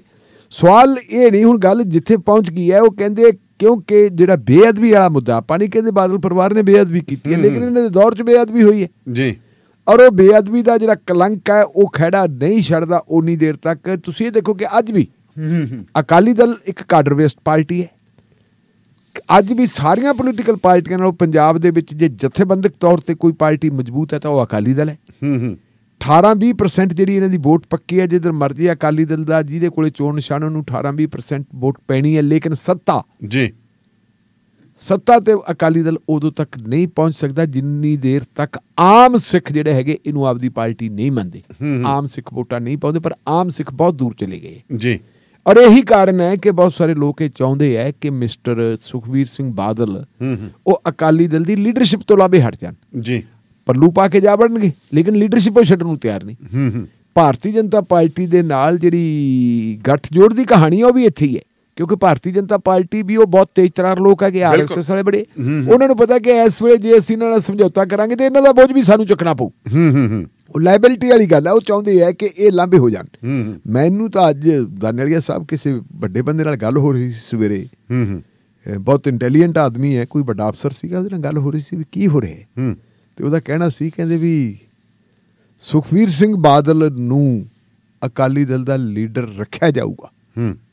ਸੁਖਵੀਰ ਸਿੰਘ ਬਾਦਲ ਨੂੰ ਅਕਾਲੀ ਦਲ ਦੀ ਲੀਡਰਸ਼ਿਪ ਤੋਂ ਲਾਂਭੇ ਨਹੀਂ ਹੋਣ ਦੇਊਗਾ। ਮੈਂ ਕਿਹਾ ਵੀ ਕੌਣ ਨਹੀਂ ਹੋਣ ਦੇਊਗਾ? ਕਹਿੰਦੇ ਜੀ ਭਗਵੰਤ ਸਿੰਘ ਮਾਨ। ਹੂੰ। ਮੈਂ ਕਿਹਾ ਕੀ ਗੱਲ? ਉਹ ਕਹਿੰਦੇ ਵੀ ਉਹਨਾਂ ਨੂੰ ਇਦੋਂ ਛੋਟਾ ਦੁਸ਼ਮਣ ਇਦੋਂ ਮਤਲਬ ਵਧੀਆ ਦੁਸ਼ਮਣ ਹੋਰ ਮਿਲਦਾ ਹੀ ਕੋਈ ਮਿਲਦਾ ਨਹੀਂ। ਕੋਈ ਨਹੀਂ। ਜਿਹੜਾ ਉਹਨਾਂ ਦਾ ਨੁਕਸਾਨ ਨਹੀਂ ਕਰਦਾ। ਜੇ ਅੱਜ ਸੁਖਵੀਰ ਸਿੰਘ ਬਾਦਲ ਪਾਸੇ ਹੋ ਜਾਂਦੇ ਕੋਈ ਹੋਰ ਬੰਦਾ ਅਕਾਲੀ ਦਲ ਦਾ ਪ੍ਰਧਾਨ ਬਣ ਜਾਂਦਾ ਭਾਵੇਂ ਕਿਸੇ ਸਾਧ ਨੂੰ ਬਣਾ ਦੇਣ ਚੱਕ ਤੇ ਅਕਾਲੀ ਦਲ ਫੇਰ ਪੁਰਾਣੀਆਂ ਬੁਲੰਦੀਆਂ ਤੇ ਚਲਾ ਜਾਓ ਉਹਨਾਂ ਨੂੰ ਲੋੜ ਇਸ ਗੱਲ ਦੀ ਹੈ ਕਿ ਇਹੀ ਬੰਦਾ ਪ੍ਰਧਾਨ ਇਹੀ। ਬੰਦਾ ਬਣਾ ਰਹੇ। ਸਾਡੇ ਲਈ ਕੋਈ ਚੈਲੰਜ ਹੀ ਨਾ ਹੋਵੇ। ਹੂੰ ਹੂੰ। ਤੇ ਹੁਣ ਆਪਾਂ ਦੇਖੀਏ ਇਸ ਹਿਸਾਬ ਦੀ ਜਿੱਥੋਂ ਤੱਕ ਮੇਰੇ ਖਿਆਲ ਮੁਤਾਬਕ ਆਪਾਂ ਵਿਕਰਮ ਸਿੰਘ ਮਜੀਠੀਆ ਦੀ ਗੱਲ ਦੇਖੀ ਵਿਕਰਮ ਸਿੰਘ ਮਜੀਠੀਆ ਨੂੰ ਤਾਂ ਲੀਡਰ ਬਣਾਇਆ ਜਾ ਰਿਹਾ ਹੈ। ਬਣਾਇਆ ਜਾ ਰਿਹਾ ਪ੍ਰੋਜੈਕਟ ਕੀਤਾ ਜੇ ਜਾ ਜਿੰਨਾ ਬੇਬਾਕ ਤਰੀਕੇ ਨਾਲ ਮਜੀਠੀਆ ਬੋਲ ਰਿਹਾ ਹੁਣ। ਦਾਨੇਲੀਆ ਸਾਹਿਬ ਮੇਰਾ ਇਹ ਮੰਨਣਾ ਹੈ ਕਿ ਜੇ ਹੂੰ ਹੂੰ। ਸੋਮਿਆਂ ਤੋਂ ਵੱਧ ਪ੍ਰਾਪਰਟੀ ਜਿਹੜੀ ਬਾਦਲ ਪਰਿਵਾਰ ਦੇ ਬਣਾਉਣ ਵਾਲਾ ਕੇਸ ਦਰਜ ਕੀਤਾ ਸੀ ਕੈਪਟਨ ਅਮਰਿੰਦਰ ਸਿੰਘ ਦੇ ਜ਼ਮਾਨੇ 'ਚ। ਹੂੰ ਹੂੰ। ਅਗਰ ਉਹਦੇ ਵਿੱਚ ਸਰਦਾਰਨੀ ਸੁਰਿੰਦਰ ਕੌਰ ਬਾਦਲ ਆਪਣੇ ਸੁਖਬੀਰ ਸਿੰਘ ਬਾਦਲ ਦੀ ਮਾਤਾ ਜੀ ਦਾ ਨਾਂ ਨਾ ਹੁੰਦਾ ਹੂੰ ਹੂੰ। ਤਾਂ ਮੇਰਾ ਖਿਆਲ ਹੈ ਵੀ ਬਾਦਲ ਪਰਿਵਾਰ ਦੀ ਮੁੜ ਸੁਰਜੀਤੀ ਨਹੀਂ ਹੁੰਦੀ ਸੀ। ਜਦੋਂ ਵੱਡੇ ਬਾਦਲ ਸਾਹਿਬ ਨੇ ਇਹ ਗੱਲ ਕਹਿਤੀ ਸੀ ਵੀ ਸਾਨੂੰ ਜੋ ਮਰਜ਼ੀ ਹੈ ਕਰ ਲੈਣ ਬੁੜੀਆਂ ਨੂੰ ਨਾ ਵਿੱਚ। ਸਾਡੀਆਂ ਬੁੜੀਆਂ ਨੂੰ ਵੀ ਇਹਨਾਂ ਨੇ ਘੜੀਸ ਲਿਆ। ਹੁਣ ਜਿਸ ਢੰਗ ਦੇ ਨਾਲ ਵਿਕਰਮ ਸਿੰਘ ਮਜੀਠੀਆ ਦੀ ਵਾਈਫ ਦਾ ਨਾਮ ਬੋਲਿਆ ਹੂੰ ਹੂੰ ਜੀਤਾ ਮੌੜ ਵਾਲੇ ਕੇਸ ਦੇ ਵਿੱਚ ਤੇ ਅਦਾਲਤ ਦੇ ਵਿੱਚ ਇੱਕ ਐਪਲੀਕੇਸ਼ਨ ਪਈ ਹੈ। ਪਈ ਆ ਹਾਂ। ਇਹ ਕੀ ਉਸ ਪਾਸੇ ਨੂੰ ਗੱਲ ਨਹੀਂ ਜਾ ਰਹੀ? ਜਾਰੀ ਹੈ। ਇਹਦਾ ਇਹਦਾ ਨਤੀਜਾ ਦੇਖੋ ਤੁਸੀਂ। ਹੂੰ ਹੂੰ। ਕਿ ਪ੍ਰਤਾਪ ਸਿੰਘ ਬਾਜਵਾ ਵੀ ਕਹਿੰਦਾ ਧੀਆਂ ਭੈਣਾਂ ਸਾਂਝੀਆਂ ਹੁੰਦੀਆਂ ਵੀ ਇਹ ਬਹੁਤ ਮਾੜੀ ਗੱਲ ਹੈ। ਕੀਤੀ। ਸੁਨੀਲ ਕੁਮਾਰ ਜਾਖੜ ਬੀਜੇਪੀ ਦੇ ਪ੍ਰਧਾਨ ਵੀ ਕਹਿੰਦੇ ਬਹੁਤ ਮਾੜੀ ਗੱਲ ਹੋ ਗਈ। ਤਾਂ ਇਹਦਾ ਮਤਲਬ ਹੈ ਕਿ ਉਹਨੂੰ ਲੀਡਰ ਬਿਲਡ ਕੀਤਾ ਜਾ ਰਿਹਾ। ਬਿਲਡ ਕੀਤਾ ਜਾ ਰਿਹਾ। ਉਹ ਲੀਡਰ ਕਿਹਦੇ ਕਹਿੰਦੇ ਬਿਲਡ ਕੀਤਾ ਜਾ ਰਿਹਾ ਹੈ ਜਾਂ ਉਹ ਸਬਸਟੀਟਿਊਟ ਬਣਾਇਆ ਜਾ ਰਿਹਾ ਜਾਂ। ਸੁਖਬੀਰ ਸਿੰਘ ਬਾਦਲ ਨੂੰ ਰੱਖਿਆ ਜਾਏ? ਗੱਲਾਂ ਤਾਂ ਬਹੁਤ ਹੈ ਅੰਦਰਲੇ ਪਾਸੇ ਜਿਹੜੀਆਂ ਪੁੜ ਚੜ ਕੇ ਆ ਰਹੀਆਂ। ਹੂੰ। ਚਲੋ ਸਭ ਤਿੰਨ ਦਿਨ ਹੋ ਗਏ ਰਾਜਸਥਾਨ ਦੇ ਵਿੱਚ ਵੋਟਾਂ ਪਈਆਂ ਨੂੰ। ਜੀ। ਤੇ ਤਿੰਨ ਦਿਨਾਂ ਦੇ ਵਿੱਚ ਹੀ ਰਾਜਸਥਾਨ ਦੀਆਂ ਘਟਨਾਕ੍ਰਮ ਤੇ ਆਬੋ ਹਵਾ ਬਦਲ ਗਈ ਹੈ। ਰਾਜਪੂਤ ਕਰਨੀ ਸੈਨਾ ਜਿਹਨੂੰ ਕਹਿ ਦਿੰਦੇ ਆ, ਸ਼੍ਰੀ ਰਾਸ਼ਟਰੀ ਰਾਜਪੂਤ ਕਰਨੀ ਸੈਨਾ ਦੇ ਮੁਖੀ ਸੁਖਦੇਵ ਸਿੰਘ ਗੋਗਾ ਮੜੀ ਘਰੇ ਆਉਂਦੇ ਤਿੰਨ ਬੰਦੇ। ਖਬਰ ਆ ਗਈ, ਕੱਪੜਾ ਵਪਾਰੀ ਨੇ ਉਹਨਾਂ ਦੀ ਐਂਟਰੀ ਕਰਾਈ, ਵਿਆਹ ਦਾ ਕਾਰਡ ਦੇਣ ਦੇ ਬਹਾਨੇ ਤੇ ਇੱਕ ਫੌਜੀ ਛੁੱਟੀ ਆਇਆ ਹਰਿਆਣੇ ਦਾ। ਉਹ ਵੀ ਕਾਤਲਾਂ ਦੇ ਵਿੱਚ ਮੌਜੂਦ ਹੈ ਤੇ ਤਾੜ ਤਾੜ ਕਰਕੇ ਜਿਵੇਂ ਵੀਡੀਓ ਦੇਖਦੇ ਆ ਵੀ ਇਹ ਯਕੀਨੀ ਬਣਾ ਕੇ ਆਏ ਸੀਗੇ ਕਿ ਬੰਦਾ ਬਚਣਾ ਨਹੀਂ ਚਾਹੀਦਾ। ਤੇ ਜਾਣ ਵੇਲੇ ਵੀ ਉਹਨਾਂ ਨੇ ਯਕੀਨੀ ਬਣਾ ਲਿਆ ਸੀ ਕਿ ਬੰਦਾ ਬਚ ਨਾ ਜਾਵੇ। ਹੂੰ ਫਿਰ ਪੁੱਠੇ ਡਿੱਗੇ ਪਏ ਤੋਂ ਬਾਅਦ ਦੇ ਵਿੱਚ ਇੱਕ ਬੰਦੇ ਨੇ ਆ ਕੇ ਸਿਰ 'ਚ ਗੋਲੀ ਮਾਰੀ। ਹੈ ਔਰ ਉਹਦੇ ਨਾਲ ਜਦੋਂ ਬਾਅਦ ਵਿੱਚ ਉਹਨਾਂ ਦੀ ਮਿਸਟਰ ਸੁਖਦੇਵ ਸਿੰਘ ਦੀ ਬਾਡੀ ਨੂੰ ਜਾਂ ਉਹਨਾਂ ਨੂੰ ਸਰੀਰ ਨੂੰ ਲੈ ਕੇ ਹਸਪੀਟਲ 'ਚ ਗਏ ਹੈ ਹੂੰ ਡਾਕਟਰਾਂ ਨੇ ਉੱਥੇ ਡਿਕਲੇਅਰ ਕੀਤਾ ਬ੍ਰੌਡ ਡੈਡ ਬ੍ਰੌਡ ਡੈਡ ਇਹਦਾ ਮਤਲਬ ਮੌਕੇ ਤੇ ਹੀ ਮੌਤ ਹੋ ਗਈ ਸੀ। ਹੂੰ ਹੂੰ। ਹੁਣ ਪਹਿਲੀ ਗੱਲ ਤੇ ਇਹ ਦਾਨੇਲੀਆ ਸਾਹਿਬ ਕਿ ਰਾਜਪੂਤ ਭਾਈਚਾਰੇ ਨੂੰ ਤੇ ਰਾਜਸਥਾਨ ਨੂੰ ਅਲੱਗ ਨਹੀਂ ਕੀਤਾ ਜਾ ਸਕਦਾ। ਨਹੀਂ ਕੀਤਾ ਜਾ ਸਕਦਾ ਕਿਉਂਕਿ ਰਾਜਪੂਤ ਭਾਈਚਾਰਾ ਤੁਹਾਨੂੰ ਪਤਾ ਮਹਾਰਾਣਾ ਪ੍ਰਤਾਪ ਦਾ ਇੱਕ ਆਈਕਨ ਹੈ ਉੱਥੋਂ ਦੇ। ਨਹੀਂ ਅੱਜ ਵੀ ਜੇ ਆਪਾਂ ਦੇਖੀਏ ਅਸੀਂ ਜੱਟ। ਹੂੰ। ਤੁਸੀਂ ਅਸੀਂ ਸਾਡਾ ਹੀ ਪਿਛੋਕੜ ਅਸੀਂ ਆਪਾਂ ਰਾਜਪੂਤਾਂ ਸਾਰੇ ਜੱਟ ਆਪਾਂ ਸਾਰੇ ਰਾਜਸਥਾਨ ਚੋਂ ਆਏ। ਰਾਜਸਥਾਨ ਚੋਂ ਹੈ ਤੇ ਪਿਛੋਕੜ ਵੀ ਸਾਰੇ ਰਾਜਪੂਤਾਂ ਹੈ। ਰਾਜਪੂਤਾਂ ਦੇ ਵਿੱਚੋਂ ਆਏ ਵੇ। ਇਹ ਜਿਹੜਾ ਹੈਗਾ ਜਿਹੜਾ ਭਾਈਚਾਰਾ ਇਸ ਭਾਈਚਾਰੇ ਦਾ ਜੇ ਆਪਾਂ ਦੇਖੀਏ ਵਿਸ਼ਾਲਤਾ। ਉਹ ਕੱਲੀ ਰਾਜਸਥਾਨ ਨਹੀਂ ਉਹ ਹਰਿਆਣੇ 'ਚ ਵੀ ਹੈ ਪੰਜਾਬ 'ਚ ਵੀ ਹੈ ਤੇ ਗਾਂ ਮੇਰੇ ਖਿਆਲ ਹੈ ਵੀ ਤੁਹਾਡਾ ਉੱਤਰ ਪ੍ਰਦੇਸ਼ ਤੇ ਤੁਹਾਡਾ ਮੱਧ ਪ੍ਰਦੇਸ਼ ਤੱਕ ਇਹ ਹੈ ਸਾਰਾ। ਜੀ। ਹੁਣ ਜਿੱਡਾ ਵੱਡਾ ਬੰਦੇ ਦਾ ਨਾਂ ਸੀ ਤੇ ਇਹ ਨਾਂ ਦੀ ਜੇ ਆਪਾਂ ਗੱਲ ਕਰੀਏ ਮੇਰਾ ਖਿਆਲ ਹੈ ਉਹ ਇੱਕ ਫਿਲਮ ਨਹੀਂ ਆਈ ਸੀ ਪਦਮਬਤ ਕੇ ਕੁਛ ਇਹੋ ਜਿਹਾ। ਪਦਮਾਵਤੀ। ਪਦਮਾਵਤੀ ਜਿਹੜੀ ਫਿਲਮ ਆਈ ਸੀ ਉਸ ਫਿਲਮ ਦੇ ਮੌਕੇ ਵੇਲੇ ਜੀ। ਜੋ ਕੁਝ ਹੋਇਆ ਸੀ ਹੂੰ ਹੂੰ। ਉਹ ਫਿਲਮ ਦੇ ਵਿੱਚ ਮੇਰਾ ਖਿਆਲ ਹੈ ਵੀ ਉਹਨਾਂ ਨੇ ਕਿਹਾ ਸੀ ਕਿ ਪਦਮਾਵਤੀ ਨੂੰ ਜਿਹੜਾ ਹੈਗਾ ਤੁਸੀਂ ਗਲਤ ਤਰੀਕੇ ਨਾਲ ਪੇਸ਼ ਕਰ ਰਹੇ ਹੋ ਤੇ ਇਹ- ਇਹਦੇ ਚ ਇਹ ਨਹੀਂ ਸੈੱਟ ਤੋੜਤਾ ਸੀ ਉੱਥੇ। ਸੈੱਟ ਉਹ ਜਿਹੜਾ ਸੀ ਪੰਸਾਲੀ। ਹੂੰ। ਸ਼ਾਇਦ ਉਹ ਡਾਇਰੈਕਟਰ ਸੀ ਪੰਸਾਲੀ ਦੇ ਥੱਪੜ ਮਾਰਨ ਵਾਲਾ ਸੁਖਦੇਵ ਸਿੰਘ ਗੋਗਾ ਮੜੀ। ਸੀ। ਜੀ। ਠੀਕ ਹੈ। ਇਹ ਉਹੀ ਬੰਦਾ ਸੀ ਔਰ ਇਸ ਵੇਲੇ ਇਹ ਬੰਦੇ ਦੇ ਖਿਲਾਫ ਭਾਵੇਂ ਕਾਫੀ ਸਾਰੇ ਮੁਕੱਦਮੇ ਵੀ ਦਰਜ ਹੈ ਲੇਕਿਨ ਇਹਦਾ ਔਰਾ ਕਾਫੀ ਵੱਡਾ ਸੀ। ਜੀ। ਔਰ ਮੈਂ ਦੇਖ ਰਿਹਾ ਸੀ ਕਹਿੰਦੇ ਵੀ ਇਹ ਬੰਦਾ ਮਤਲਬ ਕੋਈ ਇਹ ਕਿਸੇ ਇੱਕ ਪਾਰਟੀ ਨਾਲ ਵਿਸ਼ੇਸ਼ ਤੌਰ ਤੇ ਜਾਂ ਬੀਜੇਪੀ ਨਾਲ ਜਾਂ ਕਾਂਗਰਸ ਨਾਲ ਹੋਵੇ। ਹੂੰ। ਪਿਛਲੇ ਦਿਨਾਂ ਜਦੋਂ ਇਲੈਕਸ਼ਨਾਂ ਚੱਲਦੀਆਂ ਸੀ ਉਦੋਂ ਇਹਨੇ ਇੱਕ ਗੱਲ ਕਹੀ ਸੀ ਜੀ। ਕਿ ਜਿਵੇਂ ਰਾਜਪੂਤ ਦੀ ਬੰਦੂਕ ਦੇ ਵਿੱਚੋਂ ਨਿਕਲੀ ਹੋਈ ਗੋਲੀ ਵਾਪਸ ਨਹੀਂ ਮੁੜਦੀ। ਹੂੰ ਹੂੰ। ਮੈਂ ਕਹਿੰਦਾ ਗੱਲ ਕਾਂਗਰਸ ਦੀ ਨਹੀਂ ਕਰਦਾ ਮੈਂ ਅਸ਼ੋਕ ਗਹਿਲੋਤ ਦੀ ਕਰਦਾ। ਹੂੰ। ਅਸ਼ੋਕ ਗਹਿਲੋਤ ਉਹ ਆਦਮੀ ਹੈ ਜਿਹੜਾ ਇਹਦੇ ਮੂੰਹ ਦੇ ਵਿੱਚੋਂ ਬਚਨ ਨਿਕਲ ਜੇ ਬੋਲ ਨਿਕਲ ਜੇ ਉਹਦੇ ਤੇ ਪਹਿਰਾ ਦਿੰਦਾ। ਜੀ। ਇਹਦੀ ਸਥਿਤੀ ਉਹ ਹੈ। ਹੁਣ ਉਹੇ ਜਿਹਾ ਬੰਦਾ ਹੋਵੇ ਔਰ ਉਸ ਬੰਦੇ ਨੂੰ ਉੱਥੇ ਜਾ ਕੇ ਤੁਸੀਂ ਇਸ ਤਰ੍ਹਾਂ ਕਤਲ ਕਰ ਦਿੱਤਾ ਜਾਵੇ। ਇਹ ਮਾੜੀ ਗੱਲ ਅਗਲੀ ਗੱਲ। ਹੂੰ। ਇਹਦੇ ਨਾਲ ਇੱਕ ਹੋਰ ਵੇਖਣ ਵਾਲੀ ਗੱਲ ਹੈ ਕਿ ਮੈਂ ਜੋ ਪੜ ਰਿਹਾ ਸੀ ਅੱਜ ਕਿ 10 11 ਮਹੀਨੇ ਪਹਿਲਾਂ ਪੰਜਾਬ ਪੁਲਿਸ ਤੋਂ ਇਨਪੁਟਸ ਜਿਹੜੀਆਂ ਆ ਹਰਿਆਣਾ ਰਾਜਸਥਾਨ ਪੁਲਿਸ। ਕੋਲੇ ਜਾਂਦੀਆਂ। ਹੂੰ। ਉਹਨਾਂ ਨੇ ਕਿਹਾ ਸੀ ਕਿ ਮਿਸਟਰ ਜਿਹੜਾ ਹੈਗਾ ਬਿਸ਼ਨੋਈ ਲਾਰੈਂਸ ਬਿਸ਼ਨੋਈ। ਹੂੰ ਲਾਰੈਂਸ ਬਿਸ਼ਨੋਈ ਦਾ ਇੱਕ ਬੰਦਾ ਹੈ ਜਿਹਦਾ ਨਾਮ ਹੈ ਸੰਪਤ ਨਹਿਰਾ। ਹੂੰ ਹੂੰ। ਤੇ ਸੰਪਤ ਨਹਿਰਾ ਇਸ ਵੇਲੇ ਵੀ ਬਠਿੰਡਾ ਜੇਲ੍ਹ ਦੇ ਵਿੱਚ ਬੰਦ ਹੈ। ਕਹਿੰਦੇ ਵੀ ਸੰਪਤ ਨਹਿਰਾ ਨੇ ਹਥਿਆਰਾਂ ਦਾ ਇੰਤਜ਼ਾਮ ਵੀ ਕਰ ਦਿੱਤਾ ਤੇ ਉਹਦੀ ਇੰਟਰੋਗੇਸ਼ਨ ਦੇ ਵਿੱਚੋਂ ਇਹ ਗੱਲਾਂ ਨਿਕਲ ਕੇ ਆਈਆਂ ਕਿ ਸਲਮਾਨ ਖਾਨ ਤੋਂ ਬਾਅਦ ਦੂਜਾ ਜਿਹੜਾ ਸਾਡਾ ਟਾਰਗੇਟ ਹੈ ਉਹ ਸੁਖਦੇਵ ਸਿੰਘ ਗੁੱਗਾ ਮੇੜੀ ਹੈ। ਉਹਨੂੰ ਅਸੀਂ ਜਿਹੜਾ ਹੈਗਾ ਕਤਲ ਕਰਨਾ ਹੈ ਹੂੰ ਹੂੰ ਜਿੱਥੇ ਦਾਨੇ ਵਾਲੀ ਸਭ ਪਹਿਲਾਂ ਪਤਾ ਲੱਗ ਜੇ। ਔਰ ਉਹ ਤਾਂ ਮੈਂ ਉਹ ਭਾਸਕਰ ਦੀ ਵੈਬਸਾਈਟ ਦੇਖ ਰਿਹਾ ਸੀ। ਭਾਸਕਰ ਦੀ ਵੈਬਸਾਈਟ ਦੇ ਵਿੱਚ ਬਿਲਕੁਲ ਜਿਹੜੀ ਉਹ ਐਪਲੀਕ ਜਿਹੜੀ ਉਹਨਾਂ ਨੇ ਮੈਸੇਜ ਭੇਜਿਆ ਉਹ ਮੈਸੇਜ ਦੀ ਜਿਹੜੀ ਫੋਟੋ ਕਾਪੀ ਲੱਗੀ ਪਈ ਹੈ। ਅੱਛਾ ਫਿਰ ਤਾਂ ਬਹੁਤ ਬਹੁਤ ਵੱਡੀ ਵਿੱਚ ਐਡੀ ਇਨਪੁਟ ਪਹੁੰਚਣ ਦੇ ਬਾਵਜੂਦ ਵੀ ਤੁਸੀਂ ਉਸ ਬੰਦੇ ਦੇ ਲਈ ਪ੍ਰੋਪਰ ਸਿਕਿਉਰਿਟੀ ਦਾ ਇੰਤਜ਼ਾਮ ਨਹੀਂ ਕੀਤਾ। ਨਹੀਂ ਕੀਤਾ। ਹੁਣ ਇਹਨੂੰ ਛੱਡ ਦੇ ਤੁਸੀਂ ਉੱਥੇ ਭਾਰਤੀ ਜਨਤਾ ਪਾਰਟੀ ਦੀ ਸਰਕਾਰ ਬਣ ਰਹੀ ਹੈ ਜਾਂ ਜਾ ਰਹੀ ਹੈ ਅਸ਼ੋਕ ਗਹਿਲੋਤ ਦੀ ਸਵਾਲ ਤਾਂ ਸਿਸਟਮ ਦੀ। ਹੂੰ ਹੂੰ। ਸਿਸਟਮ ਜੇ ਇੰਨਾ ਹੀ ਬੇਲਿਹਾਜ਼ ਹੈ ਸਿਸਟਮ ਨੇ ਮਤਲਬ ਇੱਕ ਇੱਕ ਕਮਿਊਨਿਟੀ ਦੇ ਐਡੇ ਵੱਡੇ ਲੀਡਰ ਨੂੰ ਪ੍ਰੋਟੈਕਸ਼ਨ ਨਹੀਂ ਦਿੱਤੀ। ਉਹ ਕਹਿੰਦੇ ਹੁਣ ਆਰੋਪ ਪ੍ਰਤੀਰੋਪ ਲੱਗ ਰਹੇ ਨੇ ਬੀਜੇਪੀ ਵਾਲੇ ਕਿਉਂਕਿ ਹੁਣ ਚੱਕਰੇ ਪੈ ਗਿਆ ਆ ਸਮਾਂ ਬੀਜੇਪੀ ਉਹ ਕਹਿੰਦੇ ਜੀ ਕੇਅਰ ਟੇਕਰ ਤਾਂ ਗਲੋਤ ਆ ਹਜੇ ਵੀ।